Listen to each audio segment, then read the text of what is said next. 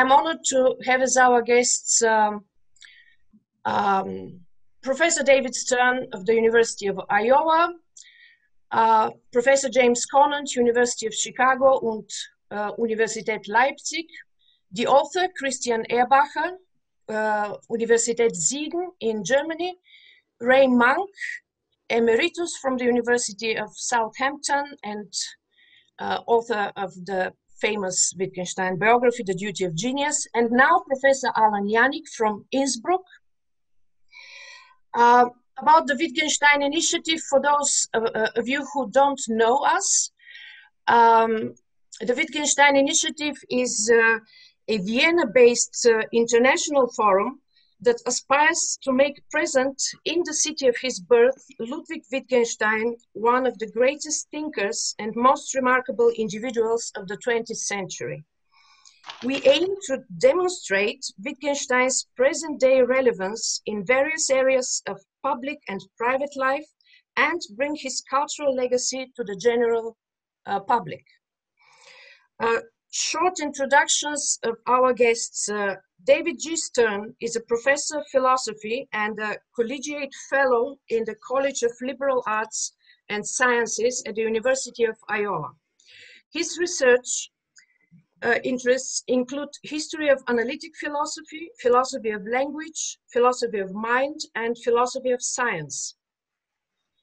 Uh, he's author and editor of numerous relevant publications on Wittgenstein uh, at the Cambridge University Press and also Oxford University Press. And most important tonight, Professor Stern is editor of the current uh, Cambridge Elements uh, series, The Philosophy of Ludwig Wittgenstein, of which the book we discussed tonight is a part. Uh, Professor James Conant uh, has written extensively on topics in philosophy of language, ethics, uh, and uh, metaphilosophy. Uh, he's especially well known for his writings on Wittgenstein and his association with the new Wittgenstein school of uh, Wittgenstein interpretation uh, initiated by Cora Diamond. He's currently uh, Chester D. Tripp Professor of Humanities, Professor of Philosophy, and Professor in the College at the University of Chicago. He's Humboldt Professor of Philosophy and co-director of the Center for Analytic German Idealism at the University of Leipzig. He's also, uh, also director of the Center for German Philosophy at the University of Chicago. Under his leadership, these two research centers form the main axis of an international philosophical network spanning Germany, Israel, and the United States. Professor Allan Janik is an Austrian and US American professor of philosophy and cultural history at the universities of Vienna and Innsbruck. Through his work with uh, Stephen Toulmin, Wittgenstein's Vienna, published in 1973, he became one of the well-known philosophers and historians in the field of intellectual life of Vienna around 1900. Professor Janik has led several important Wittgenstein projects at the Brenner Archive in Innsbruck, not least the electronic edition of Wittgenstein's correspondence, about which uh, we will certainly speak tonight. Uh, Janik was also professor of philosophy, skill and technology program at the Royal Institute of Technology in Stockholm. He has taught also at Stockholm University, uh, University of Graz, and the University of Bergen in Norway. Ray Monk is a British philosopher and writer. He's uh, emeritus professor at the University of Southampton, where uh, he taught uh, from 1992 until uh, 2018. He's author of Ludwig Wittgenstein, The Duty of Genius, as well as uh, of a two-volume biography of Bertrand Russell and of the Robert Oppenheimer biography Inside the Center. And the author of tonight's book, Christian Erbacher, works in the Collaborative Research Center Media of Cooperation at the University of Siegen. He has done extensive research on the history of Wittgenstein's paper after his death, especially uh, at the Wittgenstein, uh, Wittgenstein archives at the University of Bergen and uh, at the von Wright Wittgenstein archives at the University of Helsinki. Uh, he already has published detailed portraits of Wittgenstein's literary trustees. Uh, very interesting from our here in Vienna point of view is uh, his account on the first attempt of a Wittgenstein biography undertaken by Friedrich August von Hayek in 1953. Uh, for the current time, uh, for this and next year, uh, Mr. Erbacher is um, working uh, in as a cognitive behavioral uh, therapist before returning to Wittgenstein studies very soon. Now, if I may ask Christian first to uh, make a statement about his book, um, a first short statement, but perhaps first uh, shortly explain what is uh, cognitive behavior, behavioral therapy, because it sounded very interesting to me when I heard it for the first time. Thank you. Now you hear me, right? Yeah.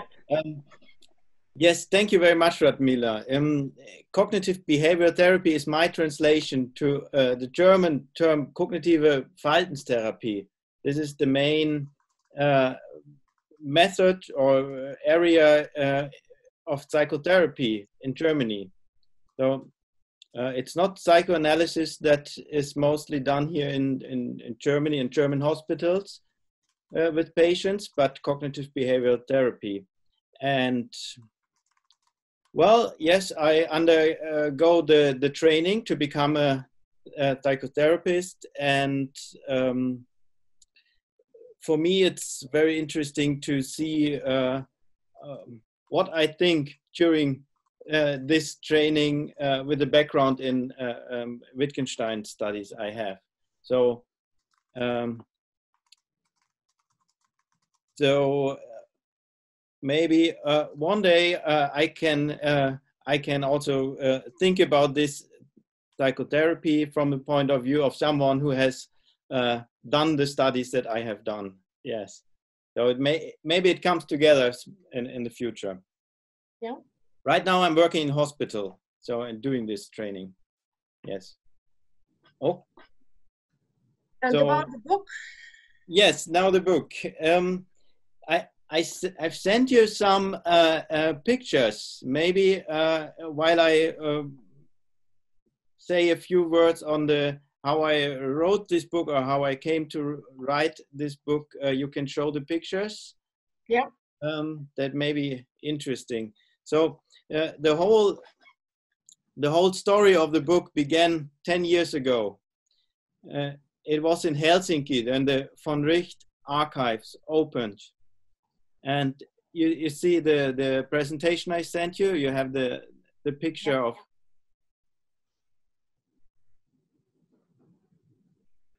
This is uh, in Helsinki. Can, can, you can you show it to the screen?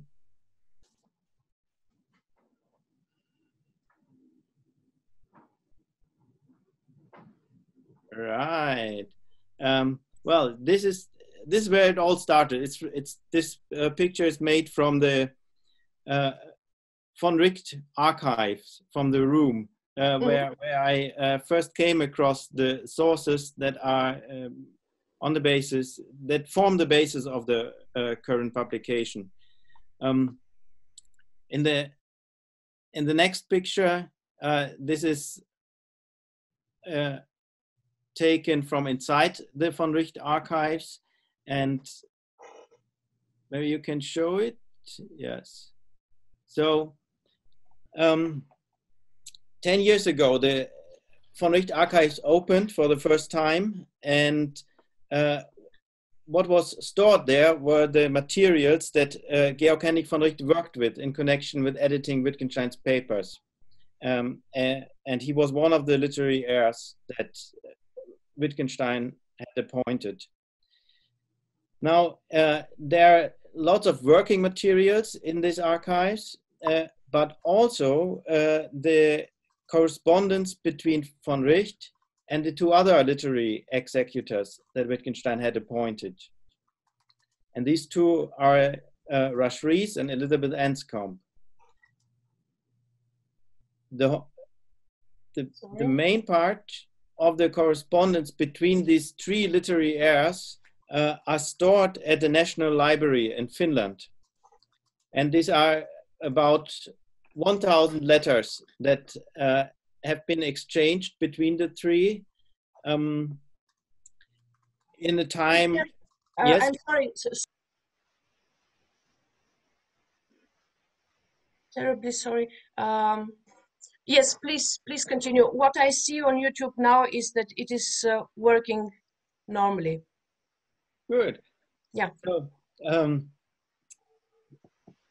well, the the whole idea of writing the book uh, that we are going to talk about um, uh, comes from reading the correspondence between the three literary executors, Rush Rhees, Elizabeth Anscombe, and Georg Henrik von Wright.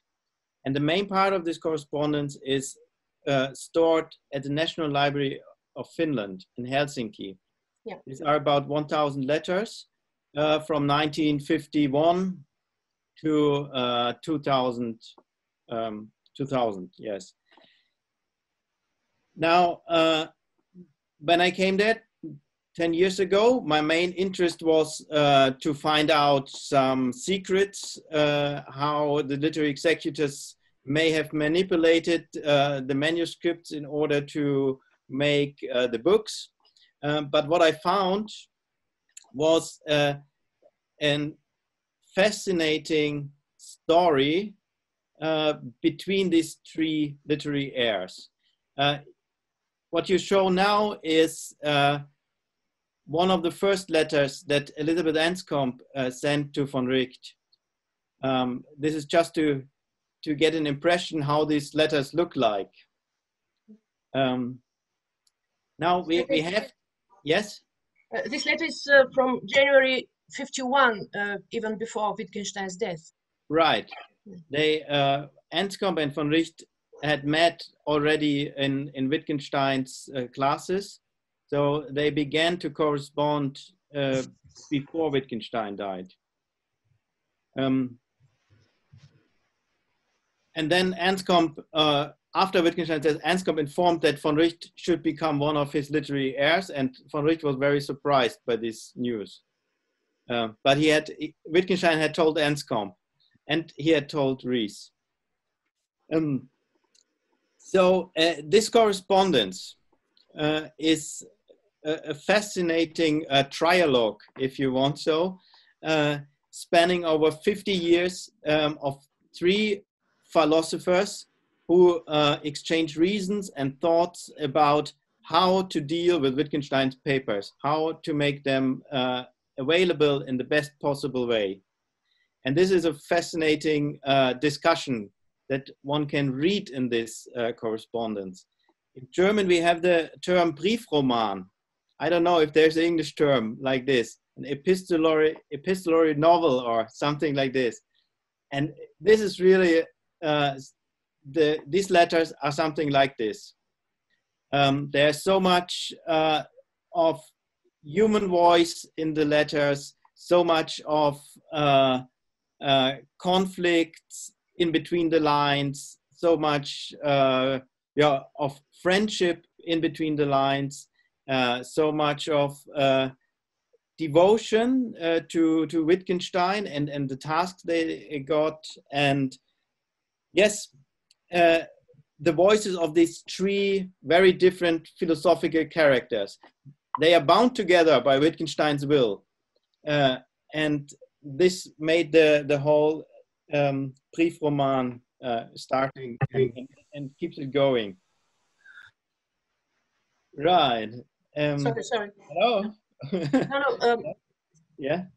Uh, she will join us much later. Yeah. Now, um, ha having had the experience of reading these thousand letters, um, I thought it would be fascinating uh, to somehow do research on this story. And then I uh, had the fortune to get support from um, universities and institutions and uh, persons, individuals who supported my idea to to um, explore this story in more detail.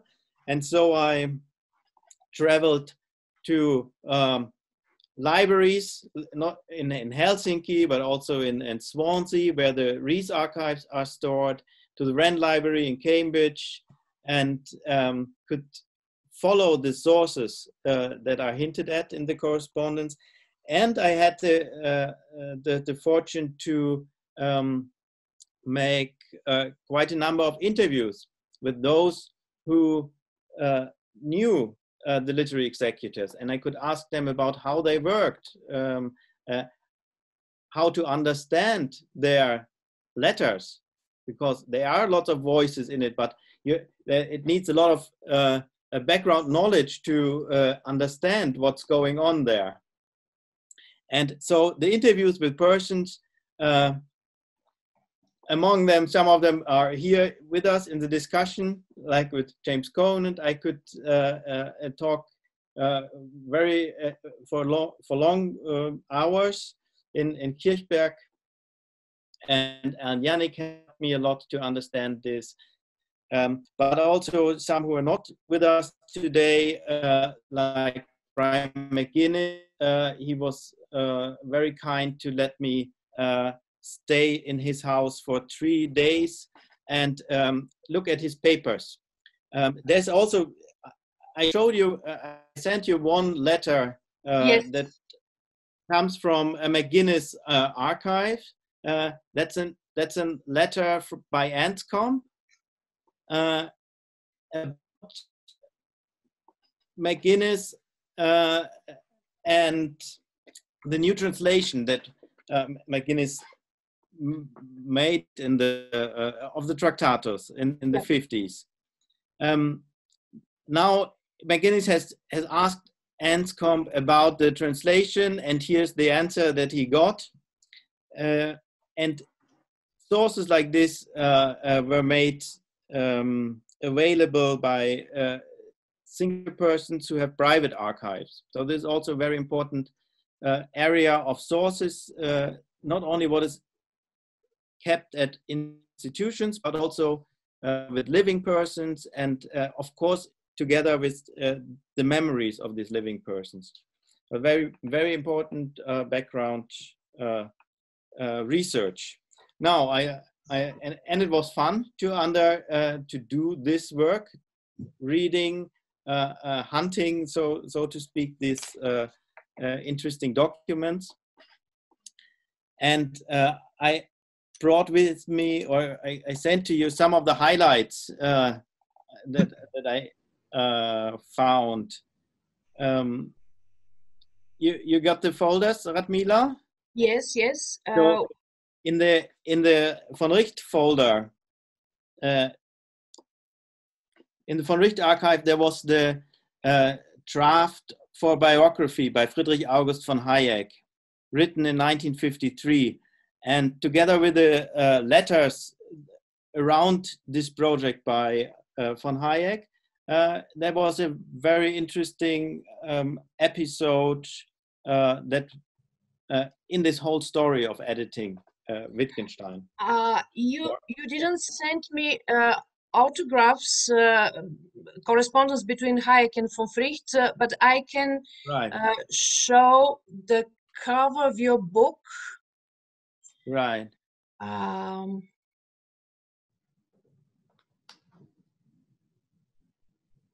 this is your book uh, where you published the whole story um, of Hayek's attempted biography of Wittgenstein. Right, right. Um, so in the end, we uh, made an edition of the of Hayek's draft, and also the um, uh, the whole story of how it was abandoned by the and and and the role that the literary executors uh, played in this story. Yeah. Um,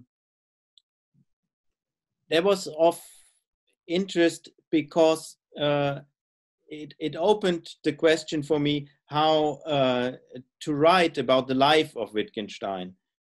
Um, yeah. And uh, well, the the literary executors uh, they didn't want Hayek to publish this draft mainly uh, because they thought uh, that Hayek would not uh, be able to write about the philosophy of Wittgenstein and uh, um, writing a biography without philosophical understanding or without understanding of the text that Wittgenstein um, created uh, would be uh, completely uh, out of the uh, out of the question. Yes. So th this was an interesting document in connection with von Wright's archive. Um, just very briefly, uh, then the uh, in connection with Rhees, I yeah. sent you also something. Uh, it's not from Swansea, but it's uh, from the Franz Brentano archives in in Graz, in Austria. And this is a very early letter by Rhees, um, in which he tells his first philosophical mentor, Alfred Kastil, about his attendance of Wittgenstein's classes in 1933, I think. Uh, 19, yes, 33 it was, I think. And uh, here one uh, can read uh, uh, the young Rhees talking about Wittgenstein uh, and not really liking Wittgenstein's classes. Uh, Rhees says um, that it, it the classes miss structure and it's difficult to follow and it's um, it's it's only a, a, um, a sequence of similes i think he writes so it's in german but uh, there's also a translation of this uh, if you can uh, there, there's a translation uh, in the publication I, that i sent to you radmila uh, it's uh, in the, the publication just a moment Uh, you sent yes Wittgenstein, no. A BBC radio talk, no.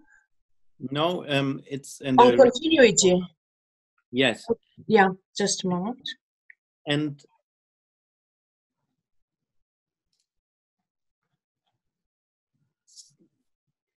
so, uh, together with these early letters, there there was also an essay by Rhees um, that he probably wanted to make a, a, dissertation out of in in the 30s, and um, this shows that the uh, work when you follow uh, the literary executors in their work, um, one is also uh, directed towards their own uh, philosophical work, like here uh, with Rush Rhees' long philosophical draft, which, had, which has not been published before.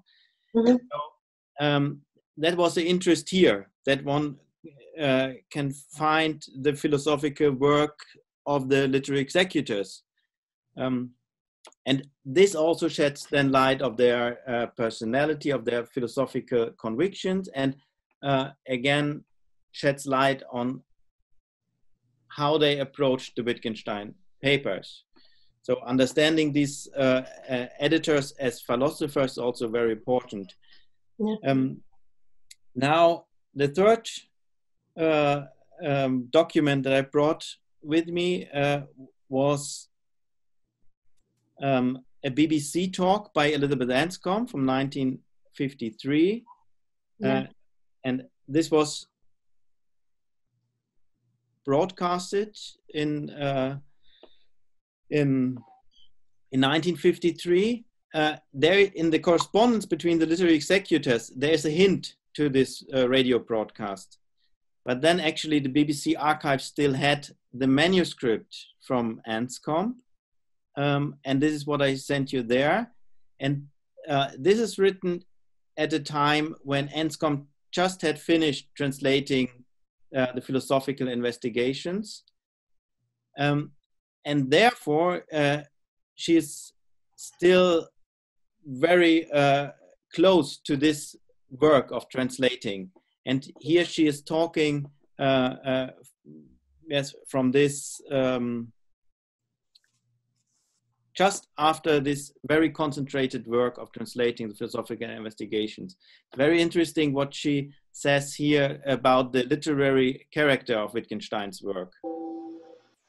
Um, now, All right. Uh, okay, Christian. Uh, yes, I, I, I, will. I, uh, I will uh, uh, close it. I just want to show documents like this uh, made the whole thing very interesting Uh, and, and uh, a thrilling uh, research adventure, if you want so.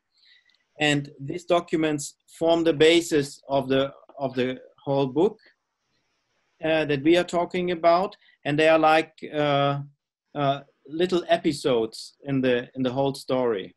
And there there are lo lots of documents and and still many many documents uh, to find and to to look at. Yes yeah thank you very much uh, perhaps now um, our other guests who i think uh, have known personally the uh, literary trustees uh, certainly, everybody has known um, Henrik von Wright, I believe. Uh, but let's let's begin with David Stern. Uh, the the coming to this book, the meaning, the significance of this book inside Wittgenstein um, scholarship. Uh, please, David, tell us how you see the things, the topics in this book. Oh, well, uh, I'm thrilled to have been the series editor for this book and thrilled that this is the first in a series of what will be 30 or more short books on every aspect of Wittgenstein's philosophy. And when I was putting this series together, um, it was clear that many of them would have to be on all of the standard topics that are covered in every large collection of uh, you know, introductory essays and companions and handbooks. But uh, Christians was not part of that standard set of topics. It was something that I very badly wanted to include. And I think it provides a really important perspective. And one reason for that is the reason that you've just seen in what Christian has to say. I mean, it provides a depth of biographical and uh, archival detail about how Wittgenstein's writings were edited that hasn't been available before. And for those of us on this panel who are really fascinated by the relationship between philosophy and biography and the details of the production of Wittgenstein's work. That already is one huge reason why it needs to be made publicly available. But uh, I got some pushback when I tried to include this title, and people uh, who were reviewing the project said, well, do we really need this? What's the point of having this kind of essay in this kind of collection? And that goes together with a larger view from those who are not already invested in these sorts of philological and uh, editorial questions as to why this is important philosophically. And so, what I want to say very briefly is I think for those who have that kind of skepticism, and I know there are a, a lot of them in the broader world of Wittgenstein studies, let alone philosophy more generally, um, I think it's hard to overstate how large a role the editors have had in our reception of Wittgenstein and how large a role they've had in the production of the texts that we take for granted as things that Wittgenstein wrote. And uh, I think part of what Christian does that is of importance from that angle is it allows us to see how Wittgenstein's work has been produced for us. And Christian has been part of a larger project at the University of Helsinki called The Creation of Wittgenstein, and the focus there is very much one that's informed by Christian's work, one that says we can't begin to understand the books that we have unless we understand how the editors created the books that we have and the agendas and interests that they brought. And part of the reason why I strongly recommend that everyone read this book is not just the wonderful detail about how the books were edited, but the insight we get into the respective philosophical perspectives of the editors and the way in which their different uh, interests and agendas shape the books that we now have available and created the Wittgenstein that we read. If you don't take seriously the information that Christian provides here, you will end up following in their footsteps and not appreciating how they've shaped our reception of his thoughts. So I think that's at least one more reason why this is a really important project and one that should reach a very wide readership. Um, so I'm sure we'll talk about that more later, and I'm sure we'll talk more about the other virtues of this book. But that at least is my particular uh, introductory thought about why I'm so excited about seeing this uh, in print and us discussing it today. Thank you. Thank you, David. Um, Jim, may I ask you? So, um, so maybe two things to say about Christian's book. One, um, in the spirit of your question about Wittgenstein studies and, and how it's useful there. And then more specifically, a thing about the book I find very fascinating, which um, Christian emphasizes throughout his book, but um, I thought I would I would help him do it um, in a remark. So the first thing is just it's a very useful book to have, as David was saying, for for among other things, students. I think whenever I try to teach Wittgenstein, you're in a very awkward position because unlike teaching Kant or Husserl or some other famous philosopher, there's many, many published works. People know what those you know, those are available, and then there's also some nachlass and some other things. They're usually a little harder for the students to get a hold of. Kant's lectures on metaphysics or whatever that have a different sort of status, but um, they're going to start off by reading the various critiques or the groundwork or something like that. Um, Whereas in Wittgenstein's case, um, there's one book he published in his lifetime, and all the other books they can order or they can uh, find in the bookstore all came into being after he died and came into being in very different ways, um, involving different sorts of relations to materials he left behind, um, came into being at very different stages and on very different principles of construction. And one wonderful thing about Chris book is he just provides an overview and a narrative. It's something you can give a student. They can read fairly quickly, and they just have an understanding of um, now this ex- some sort of understanding of this extremely complicated um, authorship and the way in which that authorship comes to us in the forms that it does, in the volumes that it does, and the way this was mediated, and the way in which the unfolding of the availability of that authorship came about in a way in which the contemporary student does not understand now if they didn't live through all of this. And suddenly there are these dozens and dozens of books of Wittgenstein, but they have no idea, as it were, what was first and what was second and why it came about the way it did. So that's one wonderful thing about Christian's book, is just the way in which it, it, it gives a narrative which is very readable and very interesting and very perspicuous and synoptic that allows people to have a sense of what the complexity of this authorship is. Something that perhaps people like Allan or Ray or David or I had spending our lives studying these things, but not so easy to communicate quickly and efficiently to the person who's coming um, to these matters for the first time. Um, the second thing I, I, thought I would just emphasize in starting a discussion about Christian's book is an extremely interesting theme in it. It's not just an interesting theme for Wittgenstein studies, I think it's an interesting theme more generally, which is what is it to edit the corpus of a philosopher? There's one way of thinking about this is very common, which is um, whatever it is to do that is what it is to do that. And it doesn't really matter who the philosopher is. So there are principles of good editorial production. You want to respect the manuscripts in the initial form you get them as much as possible. You do want you want to enact as little violence as possible. You provide them with a certain kind of editorial apparatus with an introduction with scholarly footnotes with an appendix and um, and, and and that's what it is to do this. And then um, it doesn't matter whether you're editing Kant or James Joyce or really what you're editing you just bring those principles of good editorial practice to bear on the you know on the corpus in question that you acquire. Um, one thing you can see um, from reading Christian's book is that is not at all the, the three literary heirs went about this.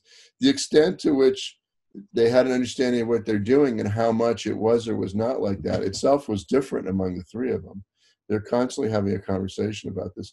Von Wright is probably the person whose conception of what he's doing was a little bit more like, but that's just a matter of degree, that more standard conception of uh, editorial processing and production than the other two. And of course, the situation they were in, as Christian emphasizes, is um, they weren't professional editors who then, as their next project, were handed the remains of some guy named Wittgenstein, who they then had to, as it were, process and produce. On the contrary, he was the teacher, he was a close friend, and he more or less left them with some sort of injunction of the form, following form, whatever this means, to sort of translate it out as simply as possible. Please only publish what I would have published in the way I would have published it. Um, and I think for a while, especially Rhees, but all three of them were, were struggling with what it means to do this. Um, and of course, in some ways, it's a completely impossible um, um, request. it's not clear how one could know these things or adjudicate them. Um, but on the other hand, it, it strongly influenced um, their understanding of what they were doing over at the beginning. And I think one thing that happened in the production of the authorship is that over time, um, as it became clearer and clearer to them that you know there was no way for Wittgenstein, as it were, to see his life's work from the point of view of his death. There is nothing which is being able to do that for a human being.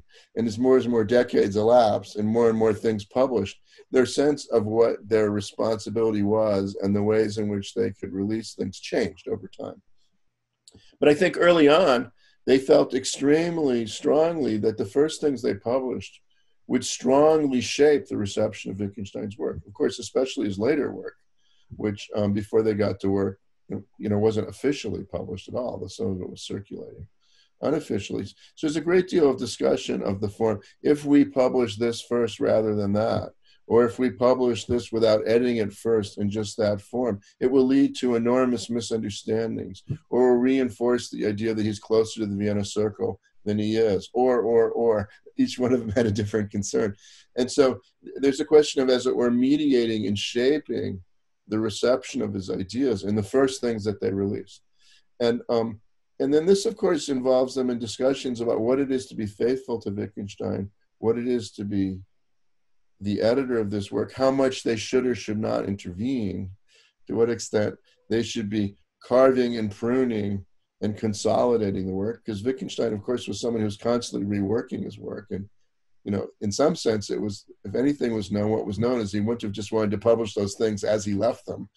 He hadn't published because he wasn't happy with how he left them. so that's, sort of the one thing he knew um, initially. Um, and, um, and, and it's very interesting to see the kind of struggles this imposes. Um, and other people are left in this position, of course, sometimes that they have a close friend who asks them to um, publish their final work or the things they haven't published. And this has happened all kinds of times in philosophy um, among lesser and greater figures. And Christian provides an extreme book provides a fascinating insight into what it is to struggle with this question, not just as a question, if you will, about, you know, as it were, editorial practice in science, but as a philosophical question about what it is to do this out of a conception of fidelity of a particular philosopher's understanding of what his own authorship was. So, of course, this question asked about Wittgenstein by someone who's responsible for Wittgenstein's work would be a very different thing than somebody who is the literary heir of a Husserl or a Michael Dummett or whoever. So that um, the specificity of that philosopher's conception itself enters into the conception of what, as it were, is um, um, an expression of fidelity to the um, initial injunction to publish that work in the manner and form and order that is in accord with the wishes of the philosopher who's turned this task over to them. And so that's very fascinating to see, I think, in, in Christian's book, how that drama unfolds in the early decades of the executorship. And then it's also very interesting to see how over time it then transitions into something which is a much more common practice of let's just make everything available and let's preserve it initially in electronic form and then also in various forms of text publications based on those electronic forms but they're only comfortable with doing that sort of thing after a certain amount of time has elapsed and they've already mediated and shaped perception of his work in certain ways. So I think that's a very um, interesting drama, both the drama itself and also the way the editor's conception of the project changes. And they also feel that it it's okay for it to change when certain volumes have come out and a certain kind of reception is already underway and is taking place. Thank you, Jim. Allan, Allan, do you hear me? Yes, yes. Yeah. Do, you, do you hear me? May I ask you for your initial statement? Uh, because you were involved in more than one ways, uh, being in Innsbruck, uh, in, in, proximity to so many documents uh, yourself.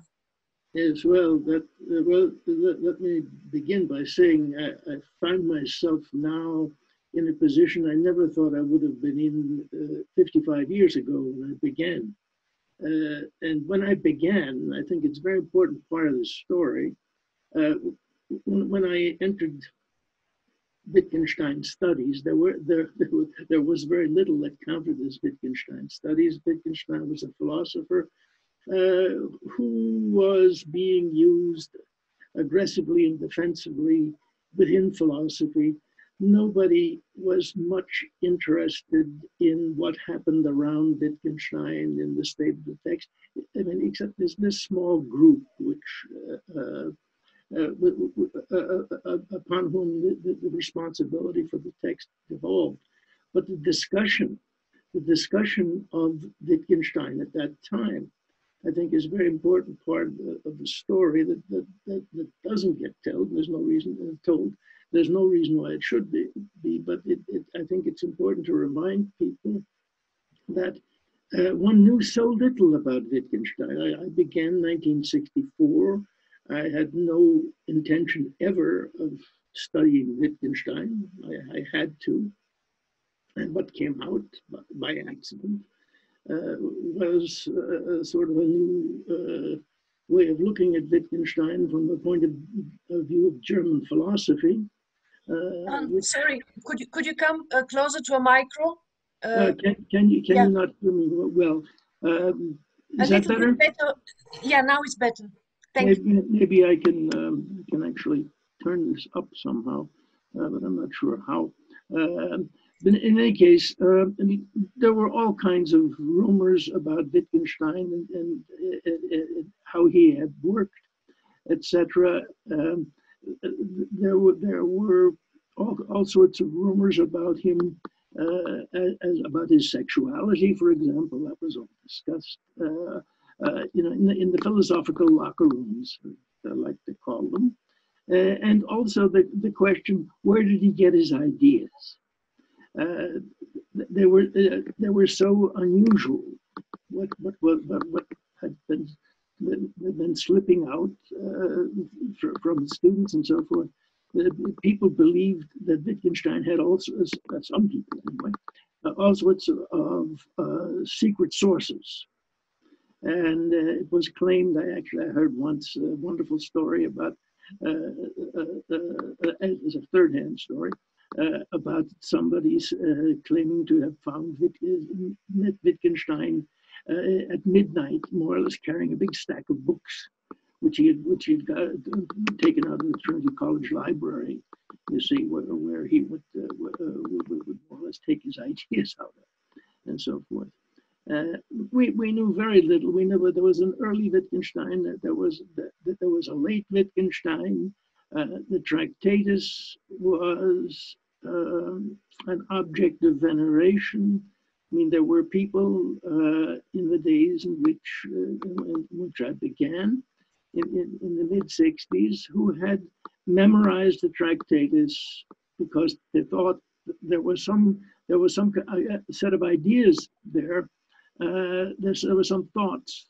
The really really important ones uh, were, were, were were in there, but you you had to you you had to put yourself in there somehow. I mean, there are all kinds of very strange things. But, uh, uh, uh I mean, the Tractatus is, is, is one of the most mysterious books philosophers ever written.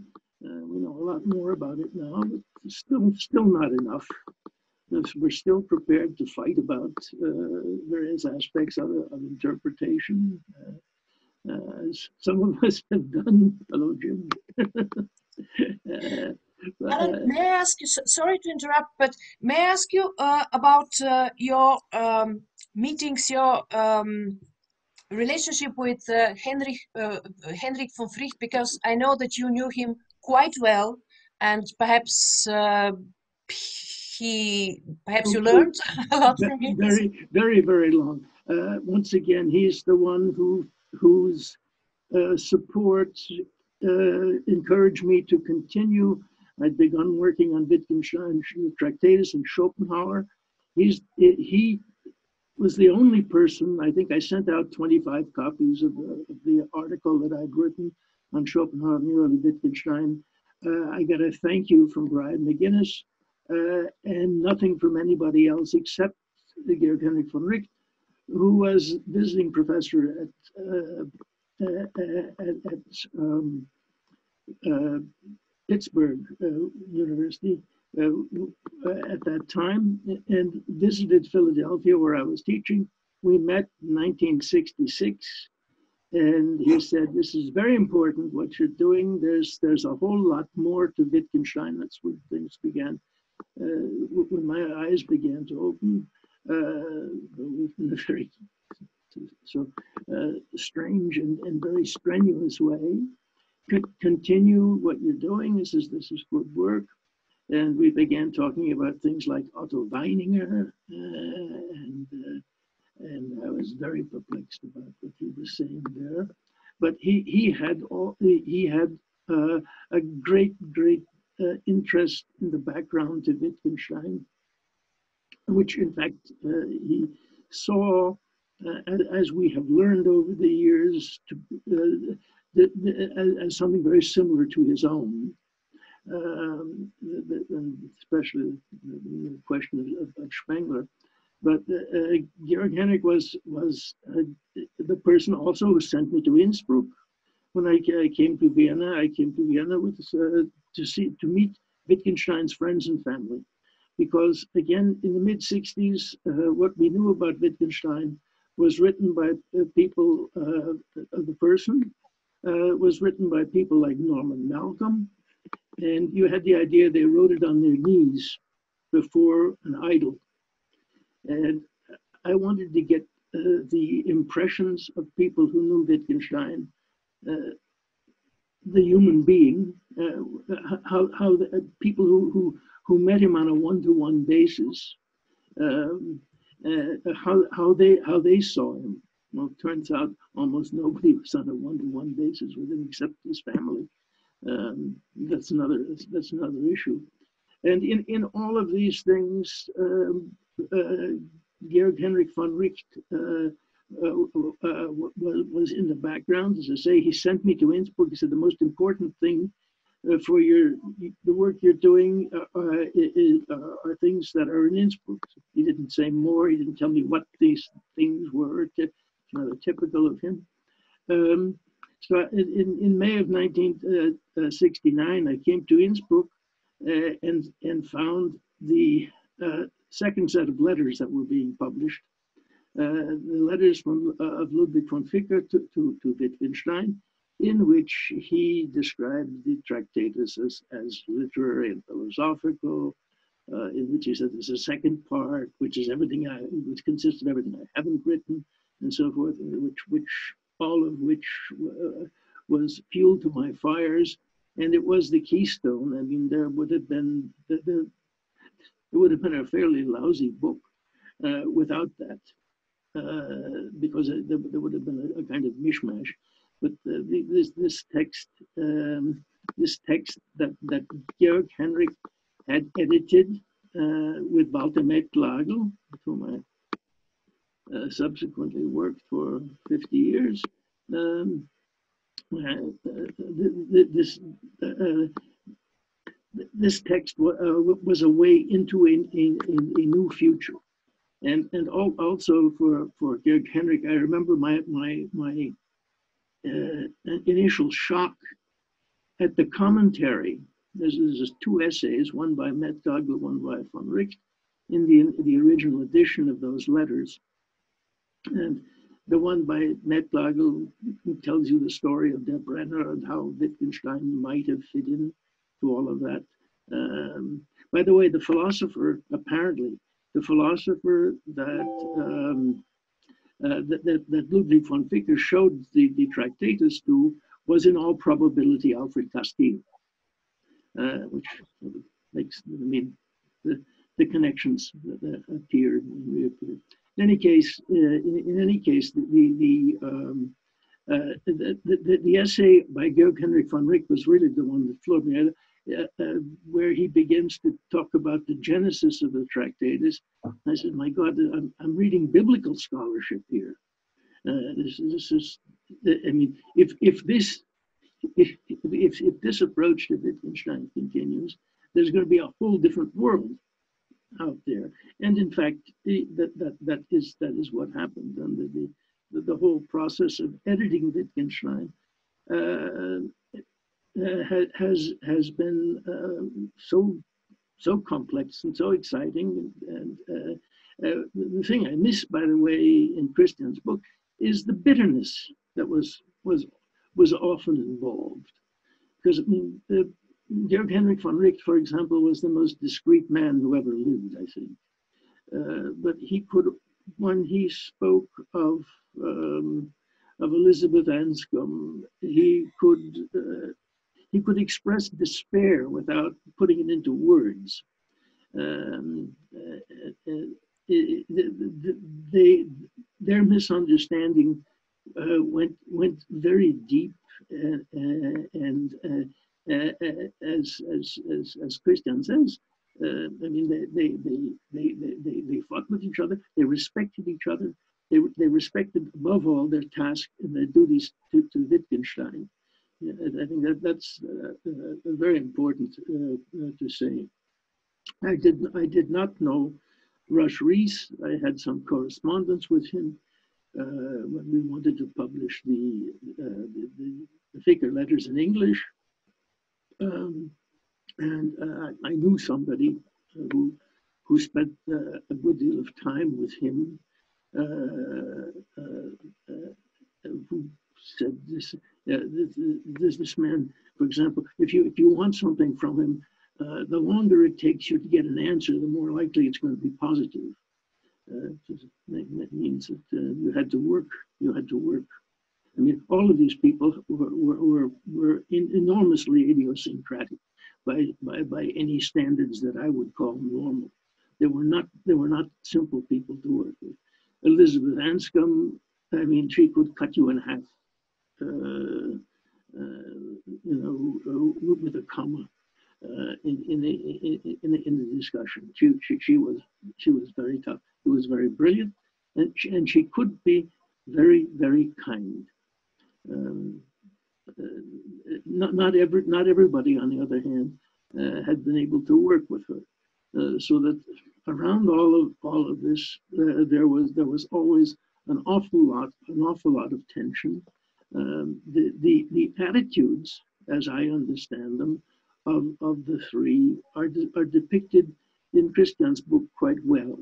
Quite well. They're, they're, they're, they're, I mean, Georg Henrik had his, his cultural uh, interest that the others did not share.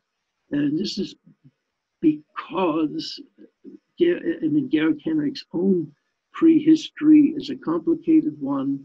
Uh, he, he was a Swedish speaking, he was part of the Swedish speaking aristocracy, and not for nothing, he got the, this family had the title von, which he took very to be very important. His his great grandfather and his bro- and, and brother, they were both famous painters in, in Finland. I mean, they, this is the Finnish aristocracy. When the queen came to Finland, uh, she was received by Georg Henrik because, it was because they couldn't find anybody more important.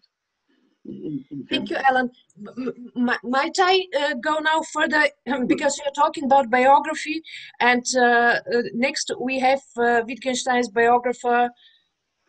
Wittgenstein's biographer, and if uh, I, I have only two, two things to, to say. First, to uh, regarding biography and um, um testimonials of contemporaries. Um, for Christian, the Stonborough family, Pierre and Francois Stonborough read your book. Uh, and uh, they are not involved in any research uh, or, or uh, scholarship, but uh, they love the book, would like to meet you very much when you come next to Austria.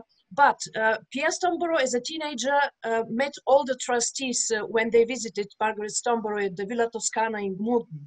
And uh, he said, I was very young, I couldn't ask them or converse with them about anything. I only remember that there are no two more different people in the world than Elisabeth Anscombe and Henrik von Wright. How these two ever came together, we couldn't understand. This I wanted to say. And uh, um, uh, Ray, uh, may I uh, only say I. Um, this book has a lot of biography in it, uh, and uh, um, is there such a thing as biography continuing continuing after the death of a such a great person as Wittgenstein? Because exactly he continues to live uh, through his uh, nachlass and the people who who form his reputation, his uh, his writings, uh, his uh, the, the, understanding of his work. So, isn't this the case that Wittgenstein's biography is still going on? Please. Okay, thank you, thank you, Radmila. Yeah, I think um, I th why aren't I going in the middle of the screen? Sorry?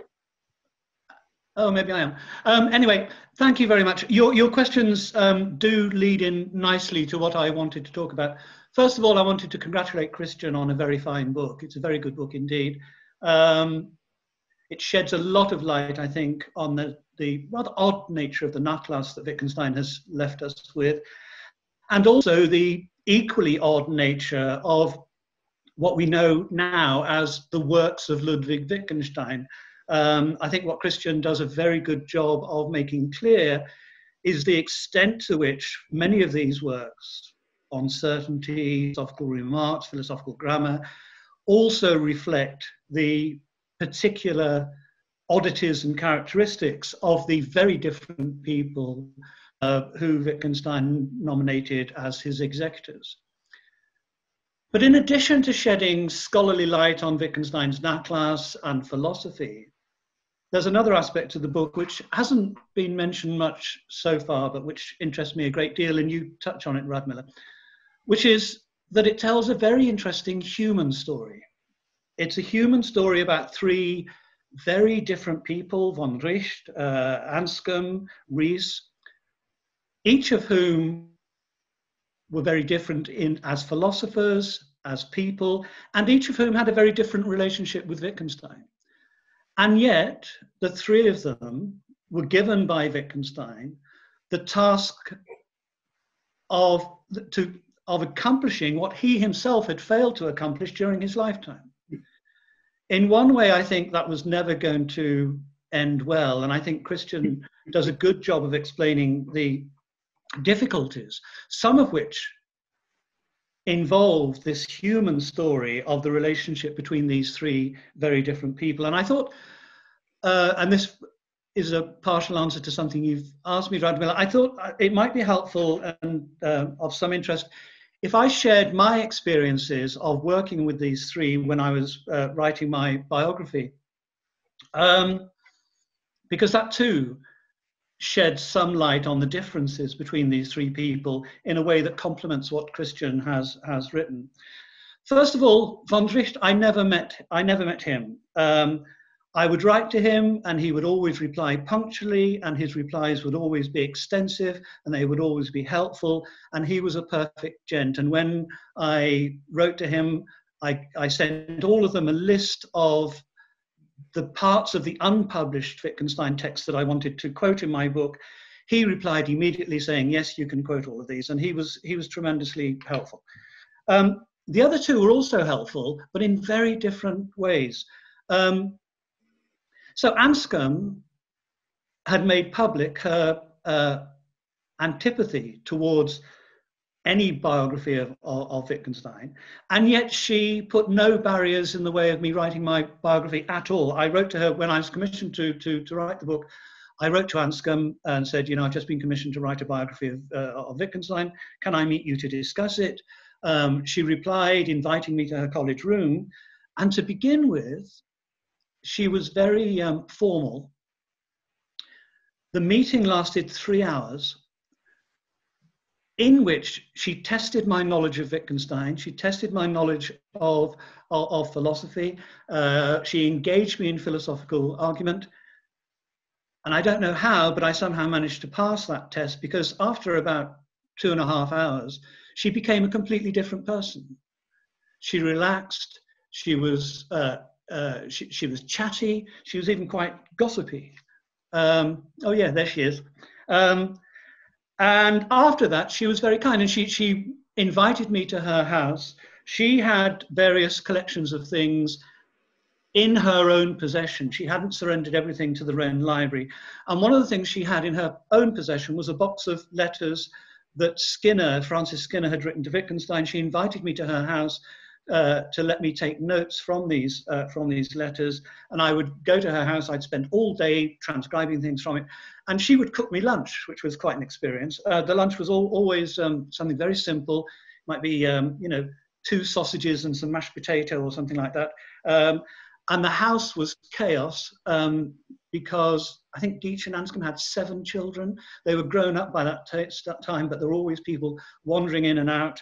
And uh, Geach my memory of Geach is that he was always talking, uh, whether anybody was listening or not. And I would be chatting with, with Anscombe about, let's say, Wittgenstein and Skinner. Geach would be on the other side of the room giving what appeared to be a, a lecture on Maxwell and Faraday, it was one, one, one day, um, to, to nobody listening at all. But one thing that struck me about Anscombe, and this uh, Christian mentions this a few times in his book, is her attitude to scholarship as we know, uh, some of the manuscripts that were put in the uh, uh, in the trust of Anscombe and Rhees have gone missing. She wasn't, to my memory, she wasn't at all concerned about that. She once described the scholarly desire to look at original sources as a fetish. She had no respect for it whatsoever. Uh, my last memory of, of Anscombe was, uh, as I say, I wrote to them giving a list of things that I wanted to quote and asking for their permission to, to quote these things, including some of the coded remarks, by the way. Um, all three of them replied saying, yes, you can quote. But then, just as the book was about to go into press, I got a second letter from Anscombe. She had by this time uh, become very forgetful. And it was a heart stopping moment because I opened the letter and it said, um, with regard to your request to, to, to quote from these uh, sources, I thought, oh no. She said, um, I can't remember whether I've written this or, or not, but uh, my, my permission is hereby granted. so uh, now, Rhees. Rhees was different again. He was, he was quite phenomenally kind. Um, he would invite me to Swansea. He would pay for a hotel room for me within walking distance of his house. I would walk up to his house by about nine o'clock in the morning and we would spend the whole day discussing Wittgenstein. Um, and I think this ties into something that Christian uh, dwells on in his book, which is that one of the things that influenced the way Rhees edited um, uh, Wittgenstein's work was his concern to stave off misinterpretations of Wittgenstein's work. And I think that was also a large part of his motivation in spending so long talking to me about Wittgenstein. I think he wanted to take the opportunity to, as it were, influence my understanding and interpretation of Wittgenstein. We spent a great deal of time discussing the philosophical grammar, for example, but he was also very helpful. He had he had um, he had drawers full of notes of his conversations with Wittgenstein, and he would uh, you know, if, if, it was relevant to what we were discussing, he would go into his room, pull out uh, some of these notes and show them to me, allow me to uh, to uh, transcribe, uh, you know, to copy things from them, um, and he would also share with me his memories of Wittgenstein. Um, so all three of them actually were very kind and helpful, but I think the ways in which they were kind and helpful were very different, and very different in ways that Christian has done a, a lot to describe, explain, and rather vividly and sometimes quite movingly make clear. So thank you, Christian. Well, thank you, Ray. That's it. Um, That's it. That's all you have to say. May, may I ask you again about uh, the biography continuing uh, Oh yes, I didn't get biography after the death of a great person? Yeah. Yeah, I mean, of course. Um, sometimes it occurs to me that what I should do is a revised edition of my book. Because, well, I mean, one way in which a biography of a dead person keeps, as it were, continuing is that we keep discovering new sources, new things come to light, and so on. And I'm there's something in me that is tempted to to rewrite the book to in, incorporate all of that. But I'm very nervous about doing that, partly because revisions of biographies almost never improve on the original. I'm thinking of Holroyd's biography of Lytton Strachey, uh, the original edition of which I think is far better than the, the revised edition. So I'm worried that if I wrote a revised edition, I would end up writing a book that just isn't as good. Um, so what I'm hoping would happen is somebody else would take on the job of writing a biography of Wittgenstein, incorporating some of this new material, incorporating some of the things we've learned about Wittgenstein, and as it were, um, in, in, in your uh, in, in the spirit of your remarks, uh, Radmila, uh, continuing the biography of Wittgenstein, because you know I certainly don't regard my book or McGuinness's book as the last word. I don't think there can be a last word on on, on something, but I think the next word on Wittgenstein probably shouldn't be written by me. Well, that's a pity. Many people would expect something different. Um, but not least, uh, many documents come to light. uh, Exactly, and yeah. uh, yeah, yeah. Uh, if, I- if I may say, But, but somebody, somebody will come along, Radmila, and, and use these documents and, and produce a, uh, you know, um, an interesting new take on Wittgenstein's life. I'm sure. Yeah, uh, I I would uh, just want to mention this doesn't have uh, much to do with the Christian's book, but uh, um, even Christian's book uh, will have to have a continuation because time time Yeah. goes by and uh, yeah. But uh, I, I think in, in the years since the publication of uh, your biography and of McGuinness's biography, uh, a lot of research has been done in Austria uh, regarding the time, the Wittgenstein's, uh, Wittgenstein's times, and I don't mean uh, only Wittgenstein's Vienna, but rather economical um, history of, of Austria, of Austrian society, of Jewish society. Th- this is a, future topic I would very much uh, would like to, to pick up uh, also in English. We have uh, done it with Austrian histor- uh, historians because uh, um, the more I know about Wittgenstein's biography, the more I have the feeling that he was very Austrian, uh, much more Yeah. Austrian than people assume, because he was, of course, he didn't talk about himself or about his inner life. He was a mysterious, discreet person Yeah. but uh, uh, his character that has been so widely discussed in Cambridge is difficult, arrogant, uh, um, overbearing, whatever. This was the family, and this was the entire class to which his family belonged. And uh, yeah, I No, I, I, I think that's right. And, and actually, it was a big moment for me when I was a graduate student at Oxford. I read Allan's book, Wittgenstein's Vienna, and that was a big moment in my understanding of Wittgenstein because I think uh, um, what uh, Janik and Toulmin did was to make it clear to English speaking people that it was no good trying to fit Wittgenstein into the tradition of British culture and British life, that there was an important sense in which he was a very Austrian figure, as you were just saying, Radmila.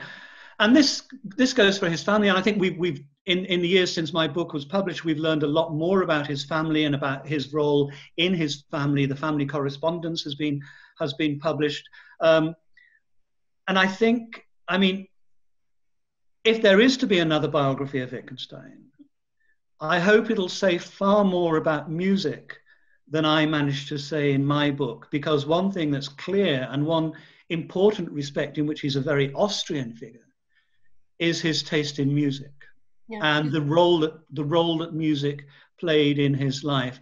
I think that's terribly important, and I think not enough has been written about it. Yeah, there, there, um, there is a problem between musicologists, music historians, and uh, uh, philosophers, the same as uh, Christian uh, mentioned yesterday, between um, um, psychologists and philosophers when you are trying to accord uh, your current activity with Wittgenstein's philosophy, that uh, the ones don't know how well they can use the others. And yeah. the same is with mu music historians and philosophy. They don't know each other and don't want to meet each other yet. Yeah, yeah. No, that, that's true. And I, you know, I think there's a lot to be said that hasn't been said about the cultural, musical background of Wittgenstein and his family and their role in Austrian society and Austrian culture. Yeah. In, I, the, mean, in the meantime, with regard to philosophy, academic philosophy, Wittgenstein's influence in English speaking philosophy has, has been plummeting in the last 10 or 20 years. Um, which I, I, I mean, a lot, I know a lot of Wittgensteinian philosophers are in despair about this, but I think there's a silver lining to that, which is that the temptation to pretend that Wittgenstein writes in the same milieu as Quine or Davidson would grow less and in its place would be a recognition of the importance of literature and art and music. Yeah, which is a also a very Austrian. Exactly. Yeah, yeah. yeah. Now, before because because uh, what you just said, Ray, I I have the feeling that uh, Marjorie Perloff and uh, Danielle Moyal-Sharrock will want to say something about and uh, uh, and ask questions and discuss. But before we go to the Q and A, I would like to uh, come back to to David's turn. David, there was a considerable um, philosophical aspect that you wanted to address uh, in in our talk today about the philosophical implications. Some something was said uh, already, but uh, would you like to add something? Uh? well, I'm not sure I have anything precisely further to add. I mean, I think what Jim said was very helpful in terms of developing some of the themes and issues that Christian addresses and making it clear to our audience how this material connects. I mean, I just think it there's a real I mean, I totally agree with Ray and Allan that it's very important to understand Wittgenstein's cultural context and to understand the broader uh, significance of Wittgenstein's work in ways that uh, some professional philosophers are blind to. Um, but I, I, think that you know one of the great virtues of Christian's book is that it really um, helps us to see how authorship is uh, a product of not just Wittgenstein's own intentions, but the way in which his uh, editors produce the text that we read. And uh, it's not that there is some straightforward uh, conclusion P that follows from this in terms of, well, now we can see that some particular thesis frequently attributed to Wittgenstein is false, but rather that there's a great deal that we'll miss about reading Wittgenstein and a great deal that you won't see about the way in which his work develops and the way in which his work has been presented to us if you just take the uh, supposed books at face value. This goes back to what Jim was saying about how we're all used to reading the works of an author who gets to publish his writing during his lifetime. And I think it's very difficult for philosophers in particular who tend to take texts at face value to see the extent to which what Wittgenstein wrote is actually uh, the product of an author function that is largely the result of decisions by his uh, editors. And to not be aware of that is to fall into various kinds of naive response to the text. And I think one of the wonderful things about Christian's book is that it really enables you to do that for yourself. It's not that uh, he uh, does anything as simple as leading us to another philosophical reading so much as to give us the tools we need to read the text more skillfully and subtly. And I, I think maybe the best way to bring this out actually is just to, if I may, read a paragraph from the very beginning of the book, where he frames this for the reader in a way that is wonderfully accessible and at the same time really brings up the central problem that I think he wants readers to think about. And this is from the very first section of the text, the, just after the introduction. He writes, Imagine that you have inherited the papers of your philosophical mentor and have been instructed to publish from them what you think fit. And indeed, that is what his uh, editors were asked to do. What are your guidelines for deciding what to publish? Would you try to think about what your mentor would have consented to publishing? Or would you maybe consult an archivist or scholarly editor who could tell you how to handle your deceased mentor's writings in a professional way? If you choose the latter, would it irritate you that your mentor appointed you for the task and not an institution with a professional staff? Would passing on the task to a professional do justice to your mentor's will? By the same token, if you choose to let your own judgment rule, which parts of your mentor's writings should be made available and would your justification suffice? If your mentor is a philosopher of considerable interest, would it be irresponsible not to follow the method recommended by professional scholarly editors? But then again, what does professional mean in the context of your mentor's philosophy? And one other thing that I think comes out very clearly in Christian's story is that the era of the three uh, appointed editors is over. They are now all deceased, and the uh, texts have all now been reprocessed by a second generation of editors. The Bergen Archive has given us an electronic edition of everything. And a new way of publishing, which is much closer to the professional and much more distant from the appointed uh, students and friends.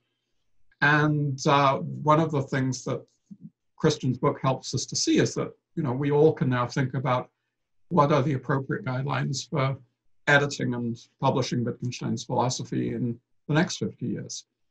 Uh, so that, that, that's at least part of what I think is really valuable about his book in a way in which it should all help us think uh, in a slightly more well-informed way about these questions. So I'm not sure if that precisely responds to what you wanted to ask, Radmila, but I hope it's helpful. No, uh, I, I, just knew that uh, you would uh, you would add, uh, like to ask to add your very personal perspective on the book uh, and uh, and before we start with the questions and answers with the further discussion uh, let's just uh, um, um, talk about the future of this uh, Cambridge element. Because you are the editor-in-chief of this Cambridge element Wittgenstein's philosophy. Perhaps you would like to say a few words what we are to expect uh, to expect further. A new installment has just been uh, published. I saw a few days ago. Right. So uh, yes, today is the last day for anyone who would like to download Avner Baz's book on uh, Wittgenstein on aspects from the Cambridge Elements site. And so this is really an experiment in a different kind of scholarly publishing. And the thought is that uh, these are going to be uh, pamphlets longer than an article but shorter than a normal book with a top limit of 30,000 words. And uh, so in some ways, this series of Wittgenstein elements is uh, going to eventually be a reference work, something like a companion or a handbook. Uh, unlike those, uh, because it's an electronic medium, uh, individual contributions are rather longer.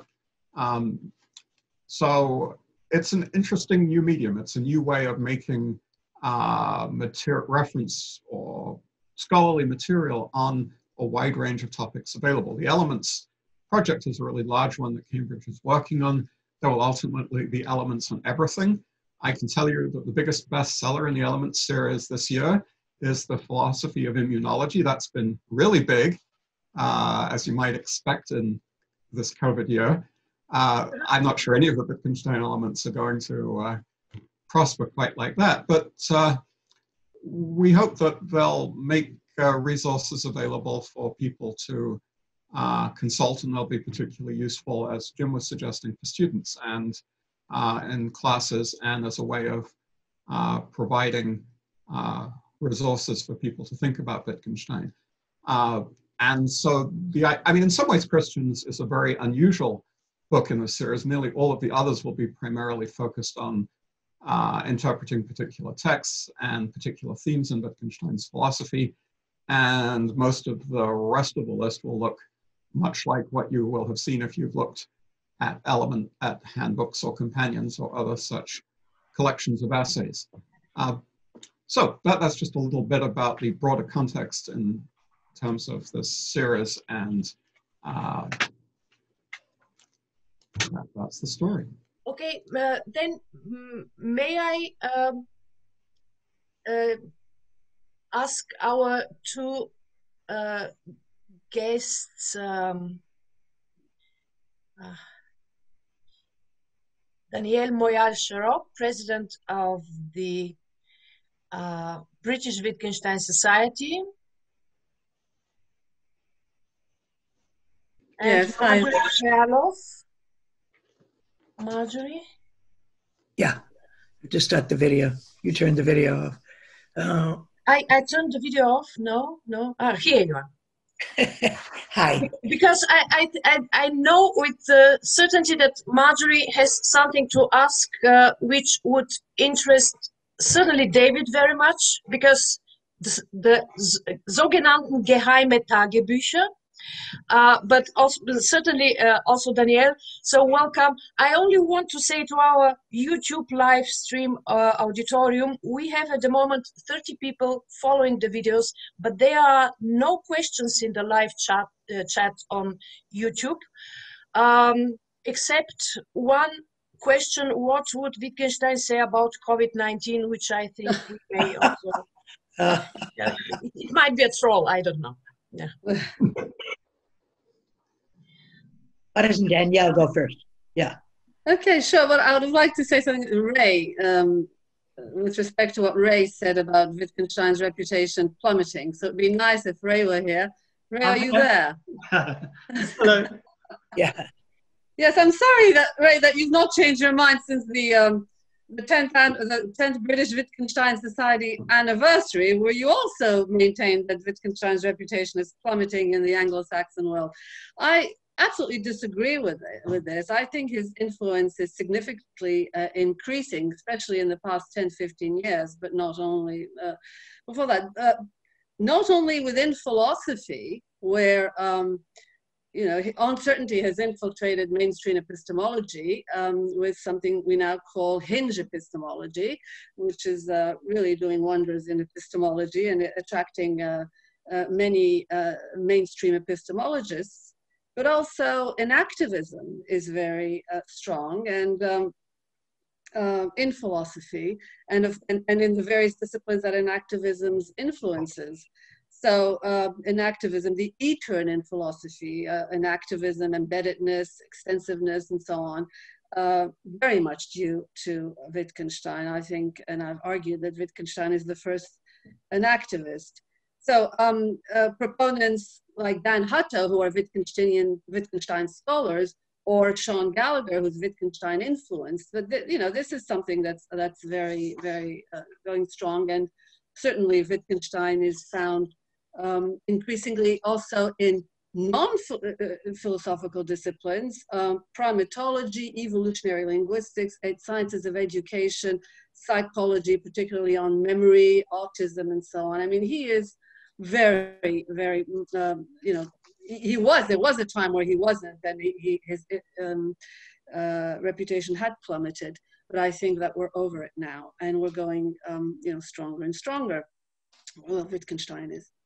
Um, if I could say, uh, uh, uh, just um, address um, another point on, on the difficulty of editing uh, Wittgenstein. Uh, I found interesting Jim's point about, about that and uh, attempting to render something that Wittgenstein would have been happy with, especially you know the the um, the three editors being as different as they are, as Ray also um, mentioned.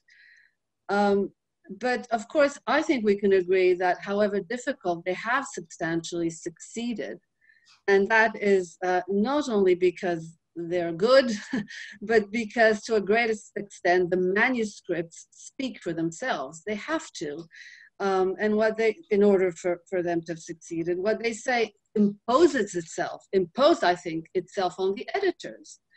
Um, the success of the editors um, you know, that in spite of their different approaches, give us a very coherent understanding of Wittgenstein. Um, I think, um, in spite of their different approaches, yes, um, the, the genius comes through. And if it hadn't come through, we wouldn't all be sitting here tonight.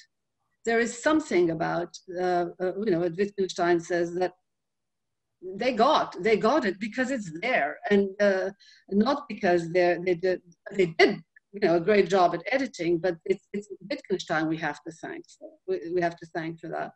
So I, I think the manuscripts speak for themselves in their coherence where this coherence actually um, includes and respects his development of course. But the, the coherence has to come from the work. It doesn't come from the editors. The genius is what makes that we're all sitting here tonight it doesn't come from the editors, it comes from the manuscript.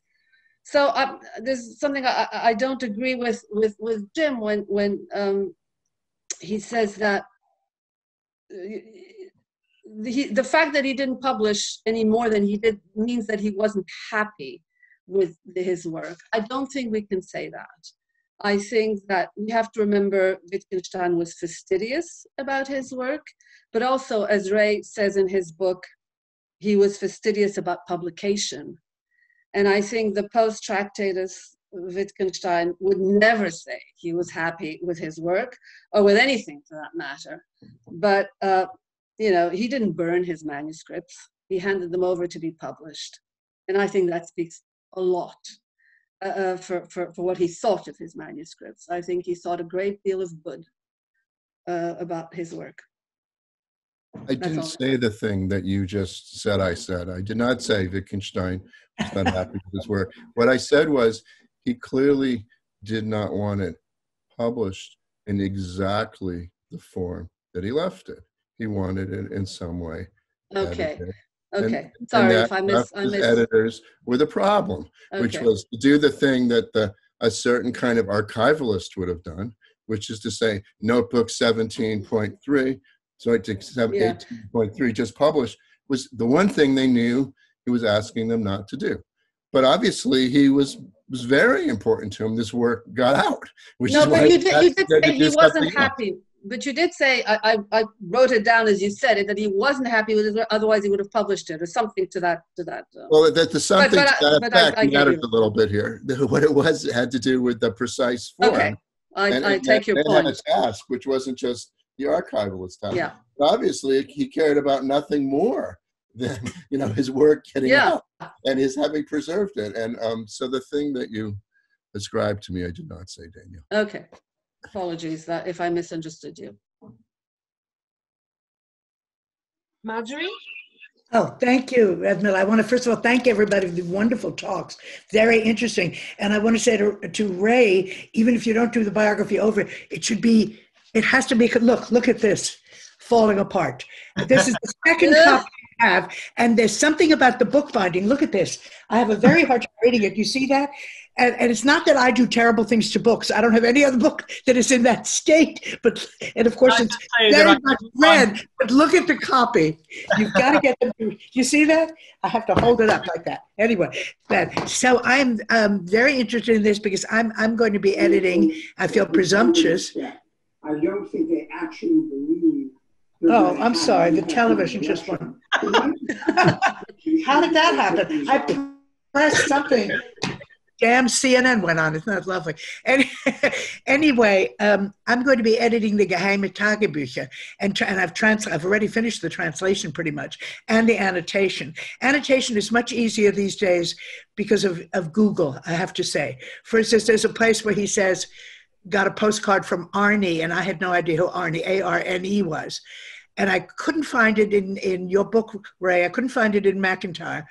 Uh, uh, anyway, then I just went online and put in Wittgenstein's friend Arne, and of course it's the young Norwegian man. I forgot his last name now, but I have it. Who was 17, whom Wittgenstein met in, in his year in Norway, and and gave the um, the cottage to, you know, deeded the cottage to him. So okay, but that's a little thing. But um, I um, I find I what I found that was very peculiar was this: I'm a literary person, not a philosopher, and perhaps because I am a literary person and my main field is poetry, can, difficult modern poetry, and I've just have a new book coming out from Chicago on that, on kind of micro poetics. That I I um, think we haven't talked enough about what a problem the translation the translations are.